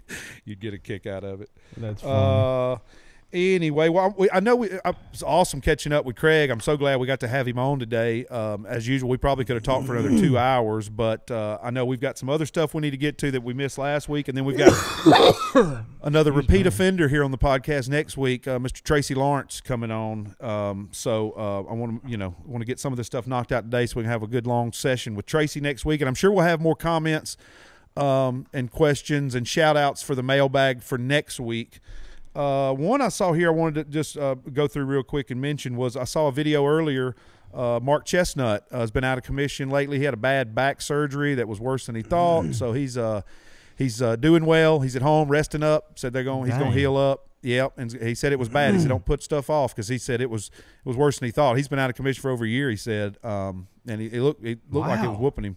But he said he's he's on the road to recovery now. And They're going to get back in a couple of months, get some rehearsals done. He's going to try to do some shows at the end of the year and and get back going. So uh, maybe that'd be if he does, maybe we can get Mark to come out and do some shows with us next year or something because uh, that, that's one right there. I've only got to see him play. Li- I see seen him work live a few times, but boy, boy, what a good show he puts on. So hopefully for a speedy recovery yeah, no doubt. for Nut uh, for sure. Uh, wanted to say happy birthday uh, as this birthday week. One to my to my mother in law, Miss Rhonda. uh, happy birthday, Sugar. Uh, and another one was the 80th birthday we had yesterday for one of the founders of the Flora-Bama, Mr. Joe Gilchrist, the patriarch of our Flora-Bama. Um, he had a couple of legends show up to. Uh, he, he had a video intro from Dean Dillon, and then uh, Rock Killough got up. I mean, these guys are older now, but Rock Killough got up and did a few songs, which Rock Killough wrote uh, "Old Nashville Cowboy" on Hank Jr. record, and tons of other hits back in the day. And Bo Roberts, who wrote hits for those guys for Merle Haggard and stuff. Ken Lambert, who was the first guy to ever play at the Flora-Bama Wow. 60 years ago. playing there, played there this week again. Still and, playing uh, music. Yep, still you know much not much. later. Yep, they still still getting it. I mean, those guys are older, but they it's still in their blood. So, once a happy birthday to Joe on here. Uh, let's see what else I got here. Oh, if anybody saw, I know I sent you a picture. Uh, I we were talking about this past weekend. Easter was great. I did. I was a little bummed I didn't get to spend any time with our family, family, besides Sharice and I, um, just because of logistics this year. But did get to go to two crawfish bowls, one on a Friday and one on a Saturday, and that's Yeah, that's so that was in uh, Orange Beach. Yeah, we went to Grice's on Friday. Then we had our um, Gulf Shores Zydeco and Crawfish Festival right here in the neighborhood on Saturday, which they did. That's it's, You know, awesome. street party type deal with art vendors and all that stuff. And yeah, Zydeco music all day. Yeah, it was really cool. So I got my feel on on crawfish um, this weekend, which was awesome. So if anybody sees that, uh, Jr. the handler on Instagram and Twitter, Justin Cole Moore on Instagram and Twitter. Use the hashtag Justin Moore Podcast uh, anytime you're interacting with us on social media. Uh, and remember, if you're watching or listening to this, wherever you're doing that, hit the like, rate, subscribe, all the buttons you can click, uh, and leave us ratings and a little five star review would be awesome. Um, I was going to go through real quick our comments on our most recent episode, Raised on Red, with Heath Sanders uh, from YouTube um, last two weeks ago. Uh, let's see here. Uh, first one, Sherry. I, I just literally found this podcast. I wanted to hear some Justin Moore songs, and here pops up this. I have I have something great to watch now. Yep, Yeah, a lot of it. You got to Yep. catch up on. yep. I'm Go glad you found it, Sherry. beginning. Yep, glad to have you. Uh, this is from Evan Frazier. Awesome show in Alabama. Y'all can always throw down in Alabama. Appreciate everything y'all do. Love the podcast. Can't wait to hear the new music with Heath Sanders. Uh, Yeah, that was a great show. While you're looking there, great show in Georgia too. I don't know if we've had a chance to discuss No. that. no, yeah, or, for sure. But um, we were in high. Excuse me. We were in Hiawassee, Georgia. I guess it was the week following the Alabama show, Yeah, we had a So Tuesday, Saturday, Tuesday, Saturday. a week and a half ago now. Yeah. I guess. Um, and I forget the venue, but uh, there It's it's, the- it's basically a a It's campsite. the Mountain Mountain Fair Pavilion, Mountain Fair, Yeah. Mountain Fairgrounds, North Georgia Mountain Fairgrounds, something to that effect. Anyway, know but that. point being, it was really really good and and great crowd and sold out crowd, and uh, the only thing that was strange to us because we all came from you know 70 degree weather or whatever, it was snowing, and that is North Georgia, which is more north, I guess, than I realized it was going to be. It's still not in the north. I don't mean it that way, but and the elevation is much higher there, but. I could not believe how cold it was. Yeah, I mean, it was freezing cold and snowing, and uh, you just don't think uh, Georgia in April it's Yeah. going to snow, but it darn darn sure did. And uh, Yeah. but it was a great show uh, as well. Uh, so thanks to everybody uh, who came out, and somebody I don't know who it was brought me a uh, a really cool. I'll bring it out on the next podcast. Actually, and I've got his name and info. a really Uh, cool I gotta find it. how would you describe it? It's a it's wooden. It's like wooden it's- artwork.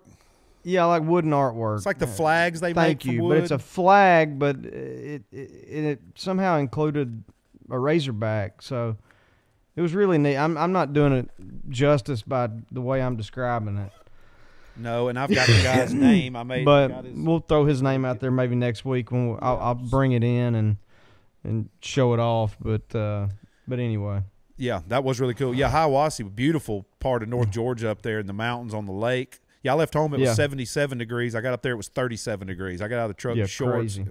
windy switchback road. I was a little nervous that last 30 miles, but yeah, great time up there.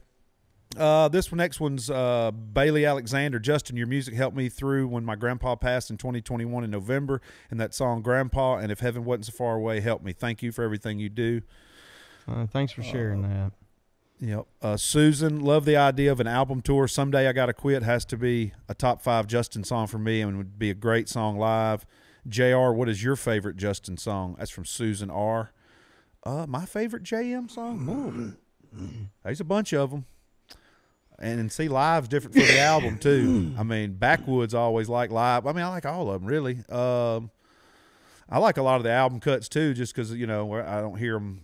Not that I get sick of them, but you you know it's just Right. oversaturated. Sometimes you hear the same ones, but uh, I always like middle class money. I always thought I just clever stuff. Bait a Hook was the one that brought me to the dance. So I mean, obviously, I mean that's a good country song right there. So that I'd, I'd have to say Bait a Hook probably. I I, I mean that's cliche, but it's one of your biggest songs. But I, Bait a Hook's just a good song.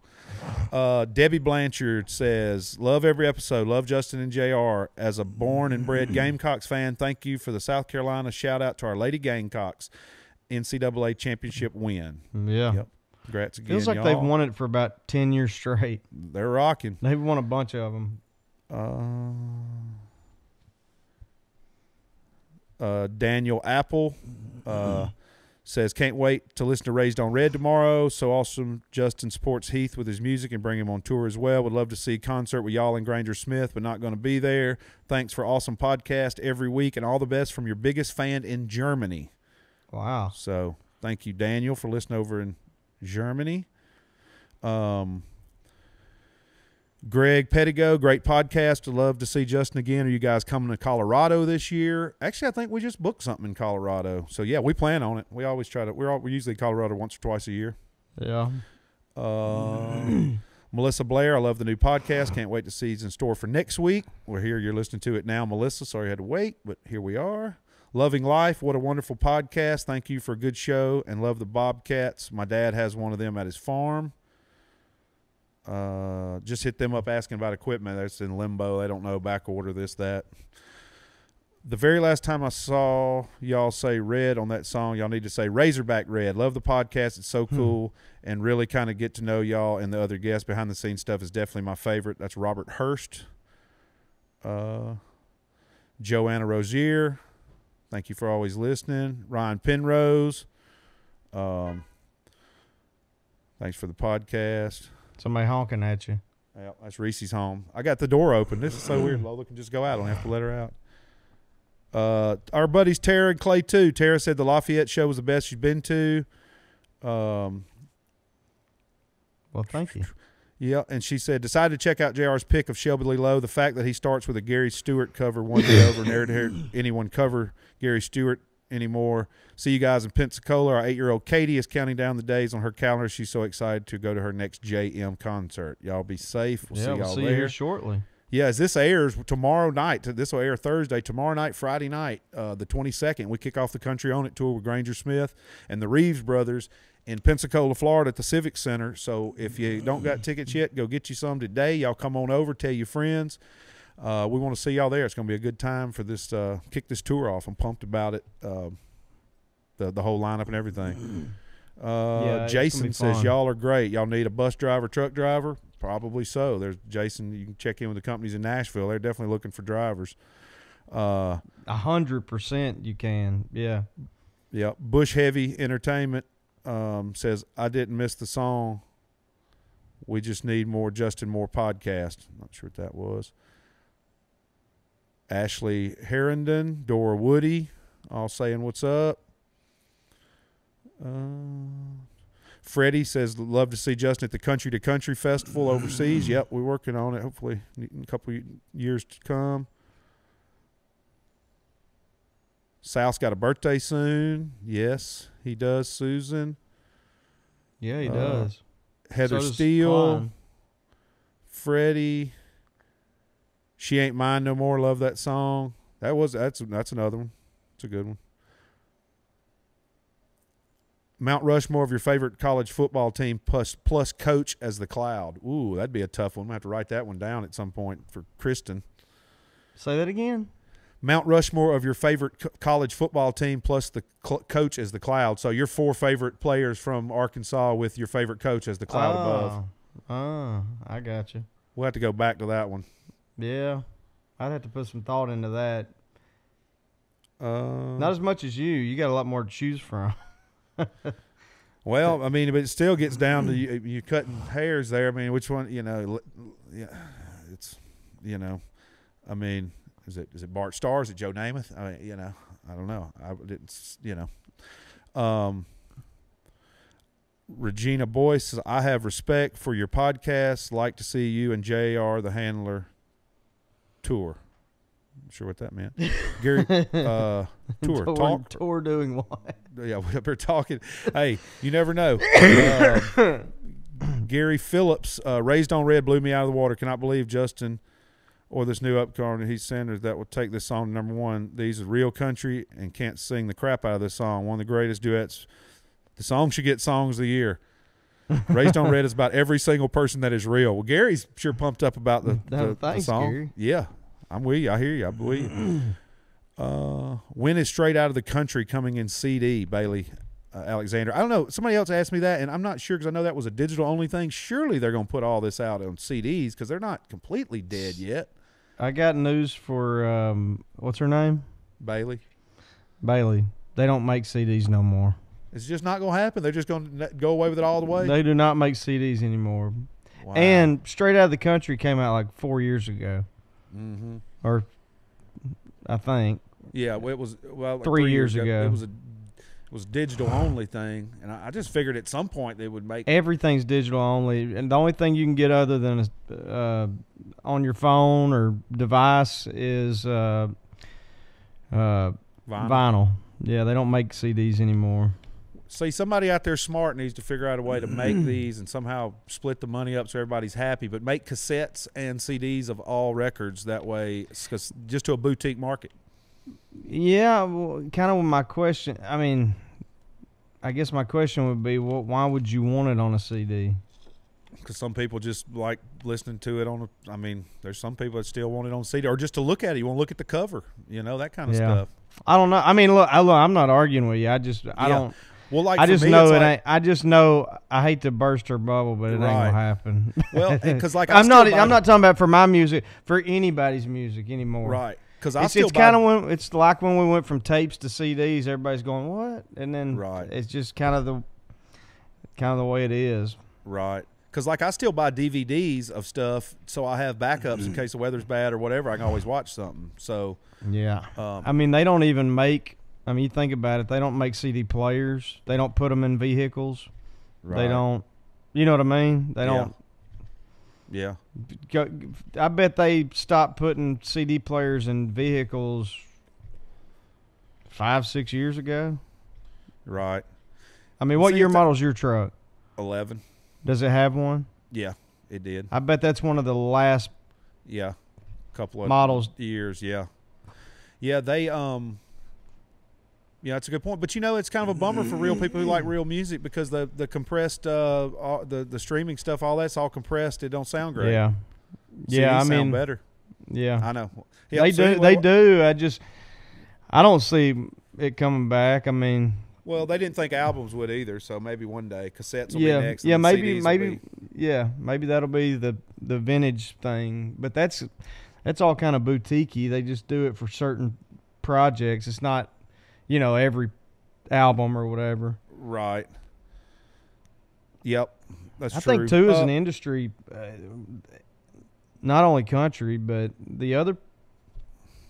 I mean, this is a little off that that topic, but kind of on online or in line with that conversation is. You know, I, I think as an industry, artists, labels, etc., are still trying to figure out like if albums are even going to be a thing in the future, or is it just going to be a song at a time, or you know what I mean? Like, I hope Yeah. that st- remains a thing. I know we're you know about to release a new album at well sometime this year. Yeah. Um, So as an artist, I enjoy doing an album, but I don't know if even that'll not go away. Also, I, I don't know. Yeah, that's a good point. We'll see. The future is uh, unknown. You know, Yeah.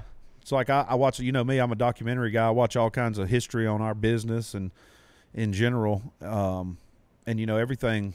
Uh, most of the stuff's not that old, and you know things have changed a bunch since it started. Oh, yeah. You know, I mean, because even think like about it, think about how much has changed since you and I have started in Yeah. this particular business. right, and then to and think that only wasn't that long ago. I mean, it you know, 15, 18 years ago. Yeah. I mean, and then and what we thought was you know the way it was when we got started that's how it's always been only 20 years before that it was different and Mhm. you know in the in the it was it wasn't until like the early mid 70s they even toured with production back then you just went somewhere and played you didn't even you know I you didn't even carry you- PA and speakers and stuff with you before that That was really interesting when you were talking about that recently. I forget what prompted that conversation, but I think if you want to touch on that, I think that is interesting. I think people would find it interesting. Yeah, you know, back, you know, and, and listening to uh, one of my uh, my favorite podcasts, Cocaine and Rhinestones, they talk about country artists back then. You know, a lot of these country artists, when you'd go play somewhere, you didn't even take your band with you. You just went somewhere and played, and they had a band ready for you. Like a They'd send house music, band. A house They band. would- They'd send the yeah. music ahead and stuff like that. And, but you didn't know what kind of place it was going to be. You know what what production, what stage, with the band. You know all that kind of stuff. And you know promoters back then would have doubles of people and people would pretend to be other people to go play because there was no way to know what somebody really looked like and you know you just heard them on the radio so all kinds of crazy stuff happened but the the way we know touring now like with a stage getting set up and a truck coming in full of equipment getting set up and wires ran and all that that wasn't until like the early mid 70s they started doing that like some big acts like I can't even remember. Uh, Who did you say the first big act to do it, and that's what changed it? It was ZZ Top. Well, that was that was it. No. wasn't long after that they they did a big worldwide tour and took everything you know with them. And said it was right before that that started happening. Yeah, it was big acts like you know like I'm trying to think like Billy Joel and some of those you know.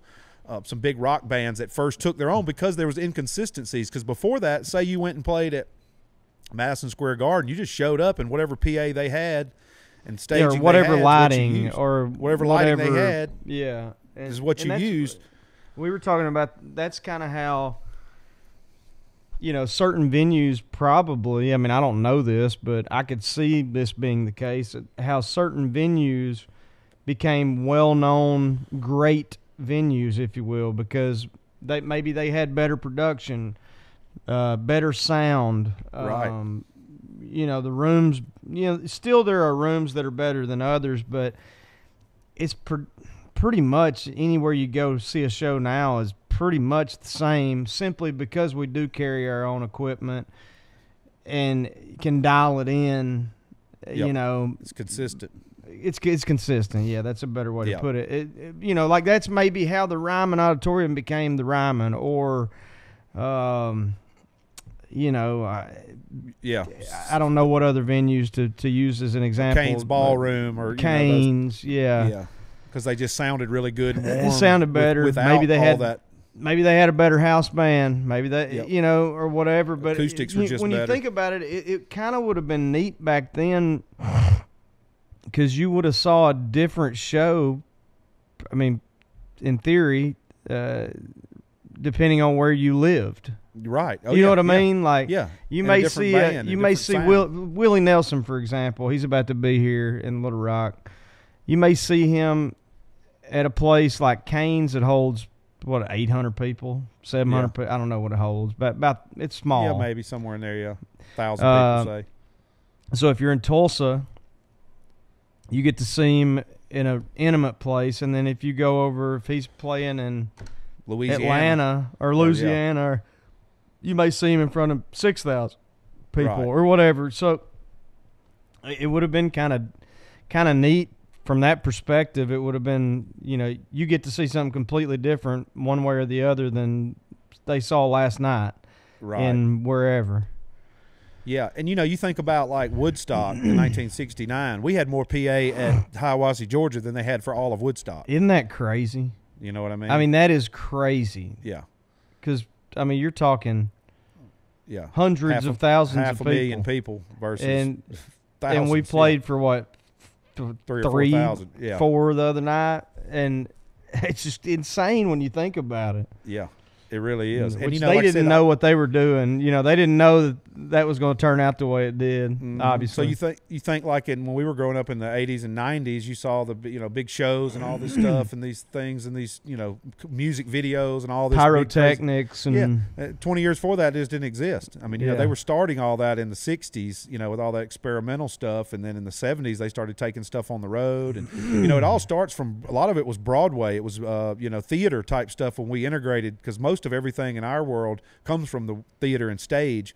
Um, so even the trucking companies back there, they were all the first trucking companies that ever took staging and equipment and stuff around was out, you know, was out of New Jersey or somewhere, and it was a it was Broadway Trucking Company, and I want to say they're still in business still hauling stuff like that for musical equipment around. But that was the first one's like, you know, and I, I this little behind the curtain fun thing. I don't know if we've ever told on the podcast, but you know, if you ever hear me or hear somebody talk about stage left or stage right or house house left or back of house or front of house or downstage, upstage. all that yeah. yeah. all that kind of stuff that all came from the the Shakespeare theater type world you know Right. because if you're if you're standing on the stage that's from the stage and they say downstage because all the stages used to have a tilt to them so if they used mm-hmm. water effects or rolling things they could move down stage so downstage is the front of the stage where you sing from and upstage is back by the curtain where Tucker's playing drums, and then stage left would be where you're standing addressing the audience to your left of the stage, and stage right opposite if you're in the house. Uh, if you're in, you know, house right would be you're looking at you guys playing to the right. So anyway, that's where all that stuff Yeah. came from was theater. So it even trickled into the first touring touring stuff with the theater companies having the ones that had some of this equipment and then using their logistics and things like that. Because you got to think in those days too, a sound company didn't go buy equipment from, you know, uh, Ampeg or, or, or you know uh, whatever the big companies are. Um, for speakers and things like that, you had to have a woodworking shop and build cabinets and put speakers in them. You know what I mean? Right. You had to build the stuff. There wasn't you couldn't just go get. It. If you ever like we were talking about Woodstock, if you ever watched that, the speakers they had were just big wooden cabinets with speakers in it and stuff that somebody built yeah, and for that sitting show. on the stage, yeah, not hung in the air. no, and no relay towers. I mean, it, it was like I mean, a, I, I, a I horn like at the ball game.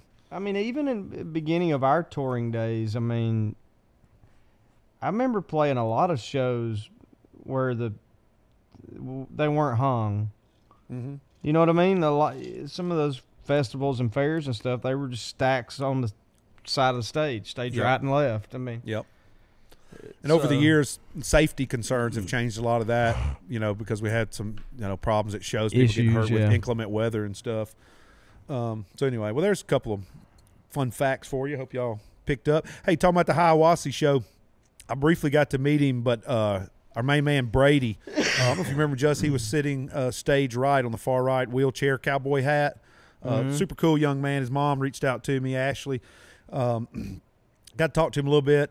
Um, we were going to try to get y'all together and stuff, but it was snow, it was bad weather outside, so we never did. But want to give a shout out to Brady. I want to say thank you for coming to the show, buddy. Uh, Yeah, I know you got a, enjoyed it. Yep, we got. I think you got a set list and a pick, but uh, we'll be sure to see you next time. Hope you guys come to a show again sometime soon. And And sorry uh, we didn't get to connect. That, yeah, we'll get your Oh. cowboy hat signed, and we'll get to hang out and get you a picture and all that next time. But I'm glad you guys came to the show and all smiles. So I'm glad you got to have fun, buddy. We'll see you there again uh, soon. Uh, clipping through baseball's rocking on along. Uh, SEC teams uh, filling up the top 25 per usual. Something I just saw It's, meant to um, mention. it's kind of wild, man. In the uh, in the West, two teams that are always up near the top of the the standings are uh, Mississippi State and Ole Miss. I mean, obviously Mississippi State won it all last year, and they're the bottom two in the SEC West right now. It's crazy. I think you guys are somewhere third, maybe second, third. Yeah, I know we. Ar- Uh, Arkansas's leading the West. Tennessee leading the uh, the East. Tennessee's. I think we talked about it a week or two ago. Tennessee's really, really good. They're they're getting a little big for their britches. They've never We- really been there, done that until last Yeah. year. They had a good year. Um, uh, their coach Tony Vitello uh, suspended for four games right now for chest bumping the umpire, but they're they're so bush league. I mean, Yeah. that, like they they when they hit a home run, they put a fur coat on and like this goofy hat. It's like they act Oh like my they've never been there because they never have been there. So, right. um, anyway, that's I know that's we my, beat them. That's my SEC baseball talk for the day. Yeah, I know we beat them He, Friday. it, it was against y'all that, that he got he, The he got kicked out for chest chest bumping the umpire. yeah, I mean, I'm all just- about getting on an ump's ass. Trust me, I almost got tossed this past weekend for me just being a smart aleck, but I was right. I mean, uh, about the call, and so uh, that's one thing. But I didn't go chest bump the dude. Like, I mean, like, you can't do that. you can't touch them. I mean, yeah, it's crazy. You kick dirt on their feet. Yeah, right. You can pick up the. You can you can delay the game and everybody Throw off, your but hat. Do yeah, whatever. pull up uh, first base, whatever. Um, got one here. Brian Montgomery says, "Hey Jr. Love the podcast. I remember back during the first season, someone said Justin should write a Razorback song. The new Raised on Red maybe change Raised to Razorback, and I believe you've got the stadium rocking." So Yeah, that's the second thought. comment we've had on that. Thank you, Brian, for sending that in. Um, see the next one I got here. What is uh, this is from Nathan Garvin on uh, Insta says what Midwest state is Justin's favorite to play in? Hashtag Justin Moore podcast. Hashtag flying down a back road. That's really tough because they really are all good. Um, I, I've commented on that a number of times, that, and we've talked about it actually in disappointment. As much as we love the South and are proud to be from here, sometimes the shows are not as good as um, you would imagine. Um, the last two weeks have been really good in the Yeah. South. Thank Uh, y'all, Alabama and Georgia, but- for representing. but I've talked I've talked about the fact that I don't know that it's any better uh, anywhere in the country that it is in the Midwest. I, I, I firmly believe that, and that's not a knock against anywhere else. Just the it the crowds are usually insane. Yep. Uh, Michigan's always great. Um, Pennsylvania's always great. I would consider Wisconsin, Midwest. They're always Yeah. good. Illinois, Um, Indiana, Illinois, Indiana, Ohio. As much as that makes me cringe, Ohio's I- always If I it, if you made me choose one, and this is not a slide against any of the rest of them, I'd probably say Ohio. yeah, probably me too. Probably say and I, Ohio. and I only say cringe not because of the people, because I lo- I've got lots of good friends and family from Ohio, but just because Ohio State. Uh, so no knock on the state of Ohio, just the football team. But, just the uh, but- Ohio State, Yeah. not the state of Ohio. right? But yeah, uh, I had to say that too. Ohio, the people are fun. It's real Probably country Ohio. folks, hardworking folks. You know, And it's, I mean, it's it's slim because all those other ones I mentioned and you mentioned are are it's always great. Also, because ain't nothing like a field party somewhere in Illinois or, or a state fair or in Michigan or a county fair in Yeah. Michigan or something. Yeah, always good. So yeah, say played up there a, a bunch, but there, I there are. When you ask me that, there are a number of venues and festivals and stuff that pop right in my head about Ohio. I- Country I concert. remember I mean, country concert, Hobart Arena. We've played a number of times. Hodag, all that stuff. Yeah, so Yeah, good stuff. Yeah, Um, good. Cassie wrote in. She said one of my favorite merch items is my air freshener I got at a Miranda show years ago. It's long ago lost its scent, but I refuse to take it down. Could definitely use a JR one to go with it. Merch ideas, and she sent me a picture. Not a bad one. I've got Hmm. one in my drawer here of my nephew when he was born that they got made that I'm saving for life till he gets That's a car. a- and we'll hang it. that's a very interesting uh, merch item. An air freshener. I remember. Uh, I remember as a, uh, Jason Boland, the Stragglers out in Texas. They had a song back in the day, "My Baby Loves Me When I'm Stoned," and uh, they had rolling papers made up for the uh, for that song. Yeah, that makes sense. But air fresheners, where I wonder where what was the tie in there? I wonder. I don't know. What's been platinum? Um, let's see. Here we got uh, oh my boy Dalton Bush. Uh, if y'all are ever in the Alabama area, Georgia, anywhere, and you see my boy Dalton Bush playing somewhere, y'all go check him out. That's real outlaw country music right there, young fella. He said, "I want to be Jr. the Handler when I grow up." I told him some days are better than others. Hoss. Uh, B. Adams. Uh,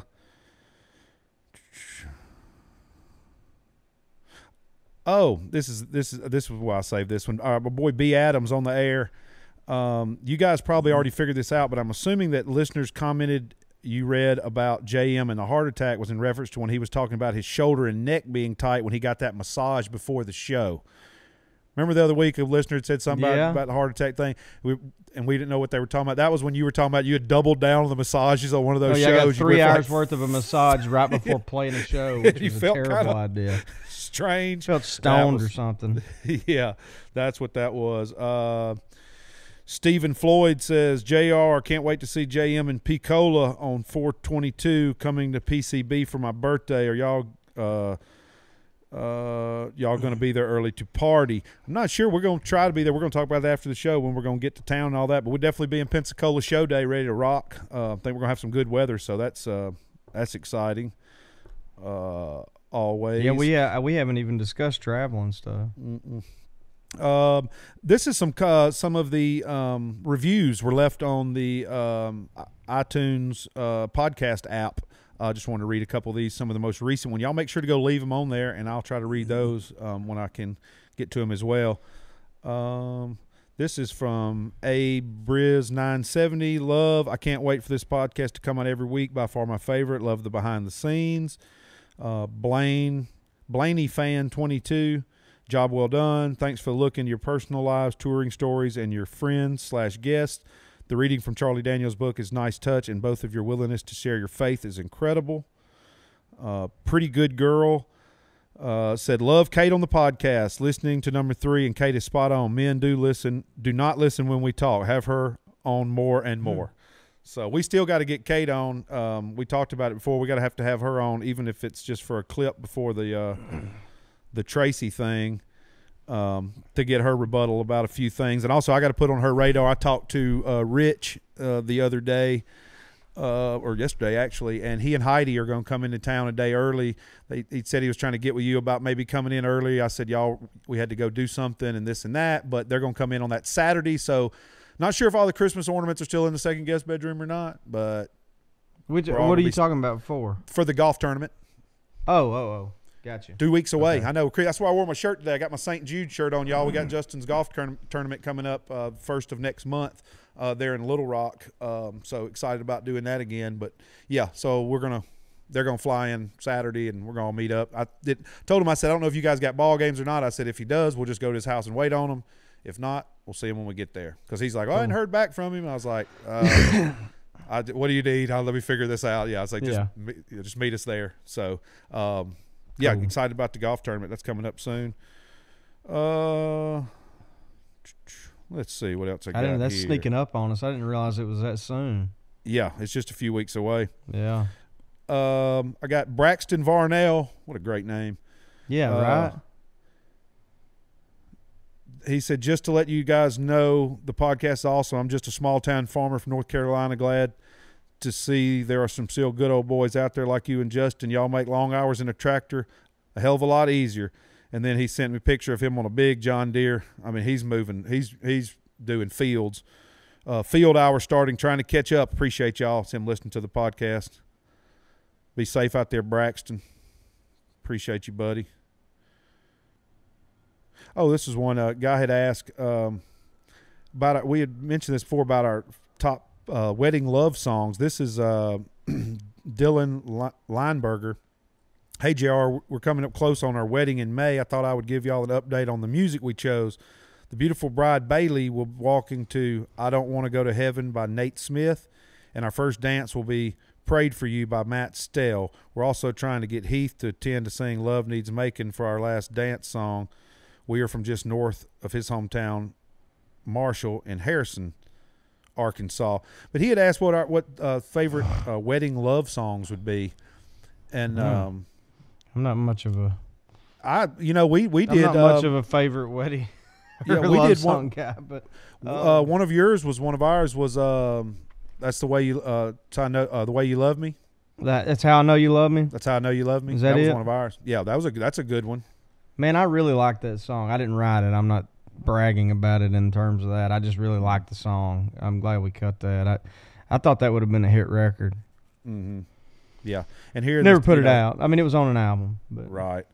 And um, here in the South, you know, mother uh, son dance always got to be simple, man. Uh, oh yeah. I'm um, trying to think. Wedding love song. Um. Boy, I don't know that I'm the guy to ask. Yeah. um, what a wonderful Uh, world, Louis Armstrong. I mean, when a man Our, loves uh, a woman, Percy Sledge. Our first dance was um, "At Last" by Etta James. That's another good one. and classic. I, I, I guess to answer the question, I'm a fan of the uh, classic stuff classics, like that. yeah. Like fif- you know, maybe 50 years old, but um, I'd say stick to the basics. Yeah. me. Those, uh, time, time, yeah. They've stood the test of time. But congrats, Timeless, guys. yeah. Um, what was the other one I had here? Congrats, and uh, did it say when they're getting married? Uh, May 7th, I believe. Yeah, and way to go uh, by not getting married in football season. Right. Add a boy. Um, Zachary Briscoe wants a shout out here on the podcast, coming all the way from Euless, Texas. So what's up, Zach Briscoe? Up, Great man? Briscoe name. Wonder if you're any kin to the uh, Briscoe brothers wrestling family from Oklahoma. Um, and I got you, uh, got you something on your way there. To the few people I talked to on here, Joanna, and a few other people that I've, I did get some of that old stuff I had in the mail sending to you guys. Should get to you soon. Um, that's about all I got. I've, I've got some other stuff. I will save it for next week. I know I mentioned earlier about listening to Cocaine and Rhinestones podcast. If y'all are uh, any big George Jones fans out there, go back and listen to that last season because he did a excellent job breaking down some George I need to Jones go listen history. to that one. And I can tell you something I found out of it. One of George Jones' favorite movies, while he and Tammy Wynette were married, this movie came out in the early mid 60s. A movie called Requiem of a Heavyweight. Um, and it's got some, um, this guy playing a heavyweight boxer that ends up having to go be a wrestler. And it's uh, Anthony Quinn. Um, it had Jackie Gleason, one of my favorite actors of all time, was his manager anyway, it's a really interesting movie, and uh, it, it made George Jones cry at the end of it. It said he'd sit up and watch it, and he'd cry at the end of it every time. And uh, but I, I, if you like older stuff and you like cool stuff, this was George Jones' favorite movie, so I'm gonna say my movie recommendation of the week is Requiem of a Heavyweight, because it was George Jones' favorite movie, and uh, I, I bought it on. Of course, you know I bought it because you know I'm gonna watch it and make you watch it a couple times. But Mhm. um, very interesting movie, and it's got old classic wrestlers in there and uh, and boxers. Muhammad Ali's in the movie. He's boxing That's Muhammad right up Ali. at your alley. Sixty-two, yeah, and then he goes to wrestle Haystacks Calhoun. But it, it, it's just kind of a.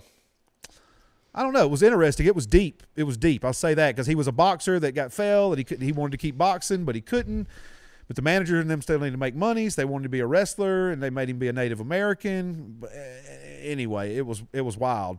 So I'll say that. And another movie I just watched last night, and I know you've probably never seen it because I'd never seen it until last night, but I had to because I'd heard about it but never did was from 1975, the movie Nashville. Anybody that's out there ever seen the movie Nashville? Uh, I've never even heard of it. send me a send me some if you've seen it or not. It's uh I don't even know how to describe this movie. It's uh it's like a parody documentary type thing of Nashville in the mid 70s, but it's shot in Nashville with uh, anyway, very interesting, very interesting movie. Nashville the movie from the 70s. Y'all go check that Does out. Does it have I- anything to do with the music industry? Oh yes, the whole thing. Oh yeah, they got a Oh. fake. They got somebody kind of being a George and Tammy type, and then the youngster. Oh, it's got all these different characters in it, and uh, Merle Kilgore's in it. Merle Kilgore's got a role in it, of course. He he, he, has got a role in there. And as soon as I heard him talking, I couldn't really make it. I had to Google. Is Merle Kilgore in this movie? Like, oh my God, Merle's in this movie. Wow. So anyway, go check that out. That's about all I've got for the week. Uh, again, uh, want to send our wishes out to Mark Chesnutt. Uh, hopefully, him a speedy recovery, get back out on the road. Thanks to Craig Campbell for coming on and spending some time with us today. sure. Y'all remember to go to craigcampbell.tv to check all Craig's stuff out, and um, Craig Campbell TV on Instagram, Twitter. Uh, and all that fun stuff, and then go check out the Grindstone Cowboy uh, next week, uh, and then anytime after that, if you're in Nashville area, it's worth the trip down there. Uh, it's a pretty drive. Probably take you 25 minutes from downtown Nashville to get down there. So y'all yeah, check that you're out. right, man. It's a super, super pretty area. It's just rolling big green hills and Yeah. pasture land and stuff. Wide Um, open. hmm So congrats to him on getting that kicked off. I hope nothing but the best for him and his wife and family on getting that going. Um, glad he didn't kill some 14 year old for making out with his daughter. uh, Not sure how that's going to turn out when when we have to deal with it. yeah. But uh, thank him for coming on, and thanks last week for Heath to coming on, and uh, thank you for jumping on with us, Justin. Thank you everybody out there in country music podcast land for listening every week and making this thing a success and keeping this thing going for now almost hundred episodes. Uh, over, I mean, what three years now we've been doing this? Yeah. crazy to think. Pretty amazing. Yep. Yep, Yeah. and a lot 20, more. 21, 22. Yeah. And a lot more, a lot more fun stuff to come. Like I said, next week we've got slated uh, to have our old buddy Tracy Lawrence come on, and I mean we've we figured out there's only one person got more swag than him, and that's that's Strait. But uh, the king of country swag, uh, Tracy Lawrence, will be on with us next week. Yeah, So and we, the, the cool thing about about it, we've done this now, and people are reaching out to us saying, "Hey, can I jump on? I've got this or that going," and Mhm. so that's pretty neat. Yep, for sure, for sure. Especially you know as we get busier and busier. Uh, and y'all go to justinmooremusic.com because we're going to get this tour cranked, and we've got a bunch of more dates on the books. So we're going to be on the road in a city near you soon. Uh, says this airs on Thursday the twenty first. Uh, tomorrow, uh, the twenty second, will be in Pensacola, Florida. Uh, then we've got May fifth, Knoxville, Tennessee. May sixth, Huntington, West Virginia. May seventh, Bensalem, Pennsylvania. May twelfth, Everett, Washington. 13th, Kennewick, Washington. May 14th, Nampa, Idaho. Then the 19th, Park City, Kansas. The 20th, Ralston, Nebraska. The 21st, we will be in Mankato, Minnesota uh, for the month of May. So y'all y'all check out justinmooremusic.com, go on the tour page, and you can see where all those dates are and get tickets if you don't have some already. And uh, we'll see y'all on the road. Yeah. Thanks, guys. We appreciate you tuning in. Thanks again to Craig Campbell, and we will talk to y'all next week. Thanks, everybody. This episode was brought to you by Bobcat. Check them out at bobcat.com. For any of you first time listeners out there, at the end of each of our episodes, uh, I like to do a little reading out of a book I've had that I've got a lot of use out of over the years. Uh, the book is by Mr. Charlie Daniels, uh, and the book is called Let's All Make the Day Count The Everyday Wisdom of Charlie Daniels. Number 44 Hurtful words. A soft answer turns away wrath, but a harsh word stirs up anger. Proverbs 15:1. Many years ago, while doing a radio interview, I said something about a band that would be on a future show with us. It was not mean, condescending, or in any way disparaging, but still not as complimentary as it could have been. And it was certainly not meant as criticism or even judgment, as I had never even heard the band play. Their name simply came up in the course of the interview, and I made a very bland statement basically saying that I was not familiar with them. One of the band members was listening and took what I said as a bit of an insult. I ran into him years after the incident and he brought it up. He recalled it word for word, and the offhand remark I had made was still a distasteful memory. So many old adages are based in truth, and if and if you can't say something good about somebody, it's best not to say anything at all, is one of them. So many old adages are based in truth, and if you can't say something good about somebody, it's best to say nothing at all, is one of them. Words are powerful and can't be unspoken. Choose carefully the ones you use. Let's all make the day count.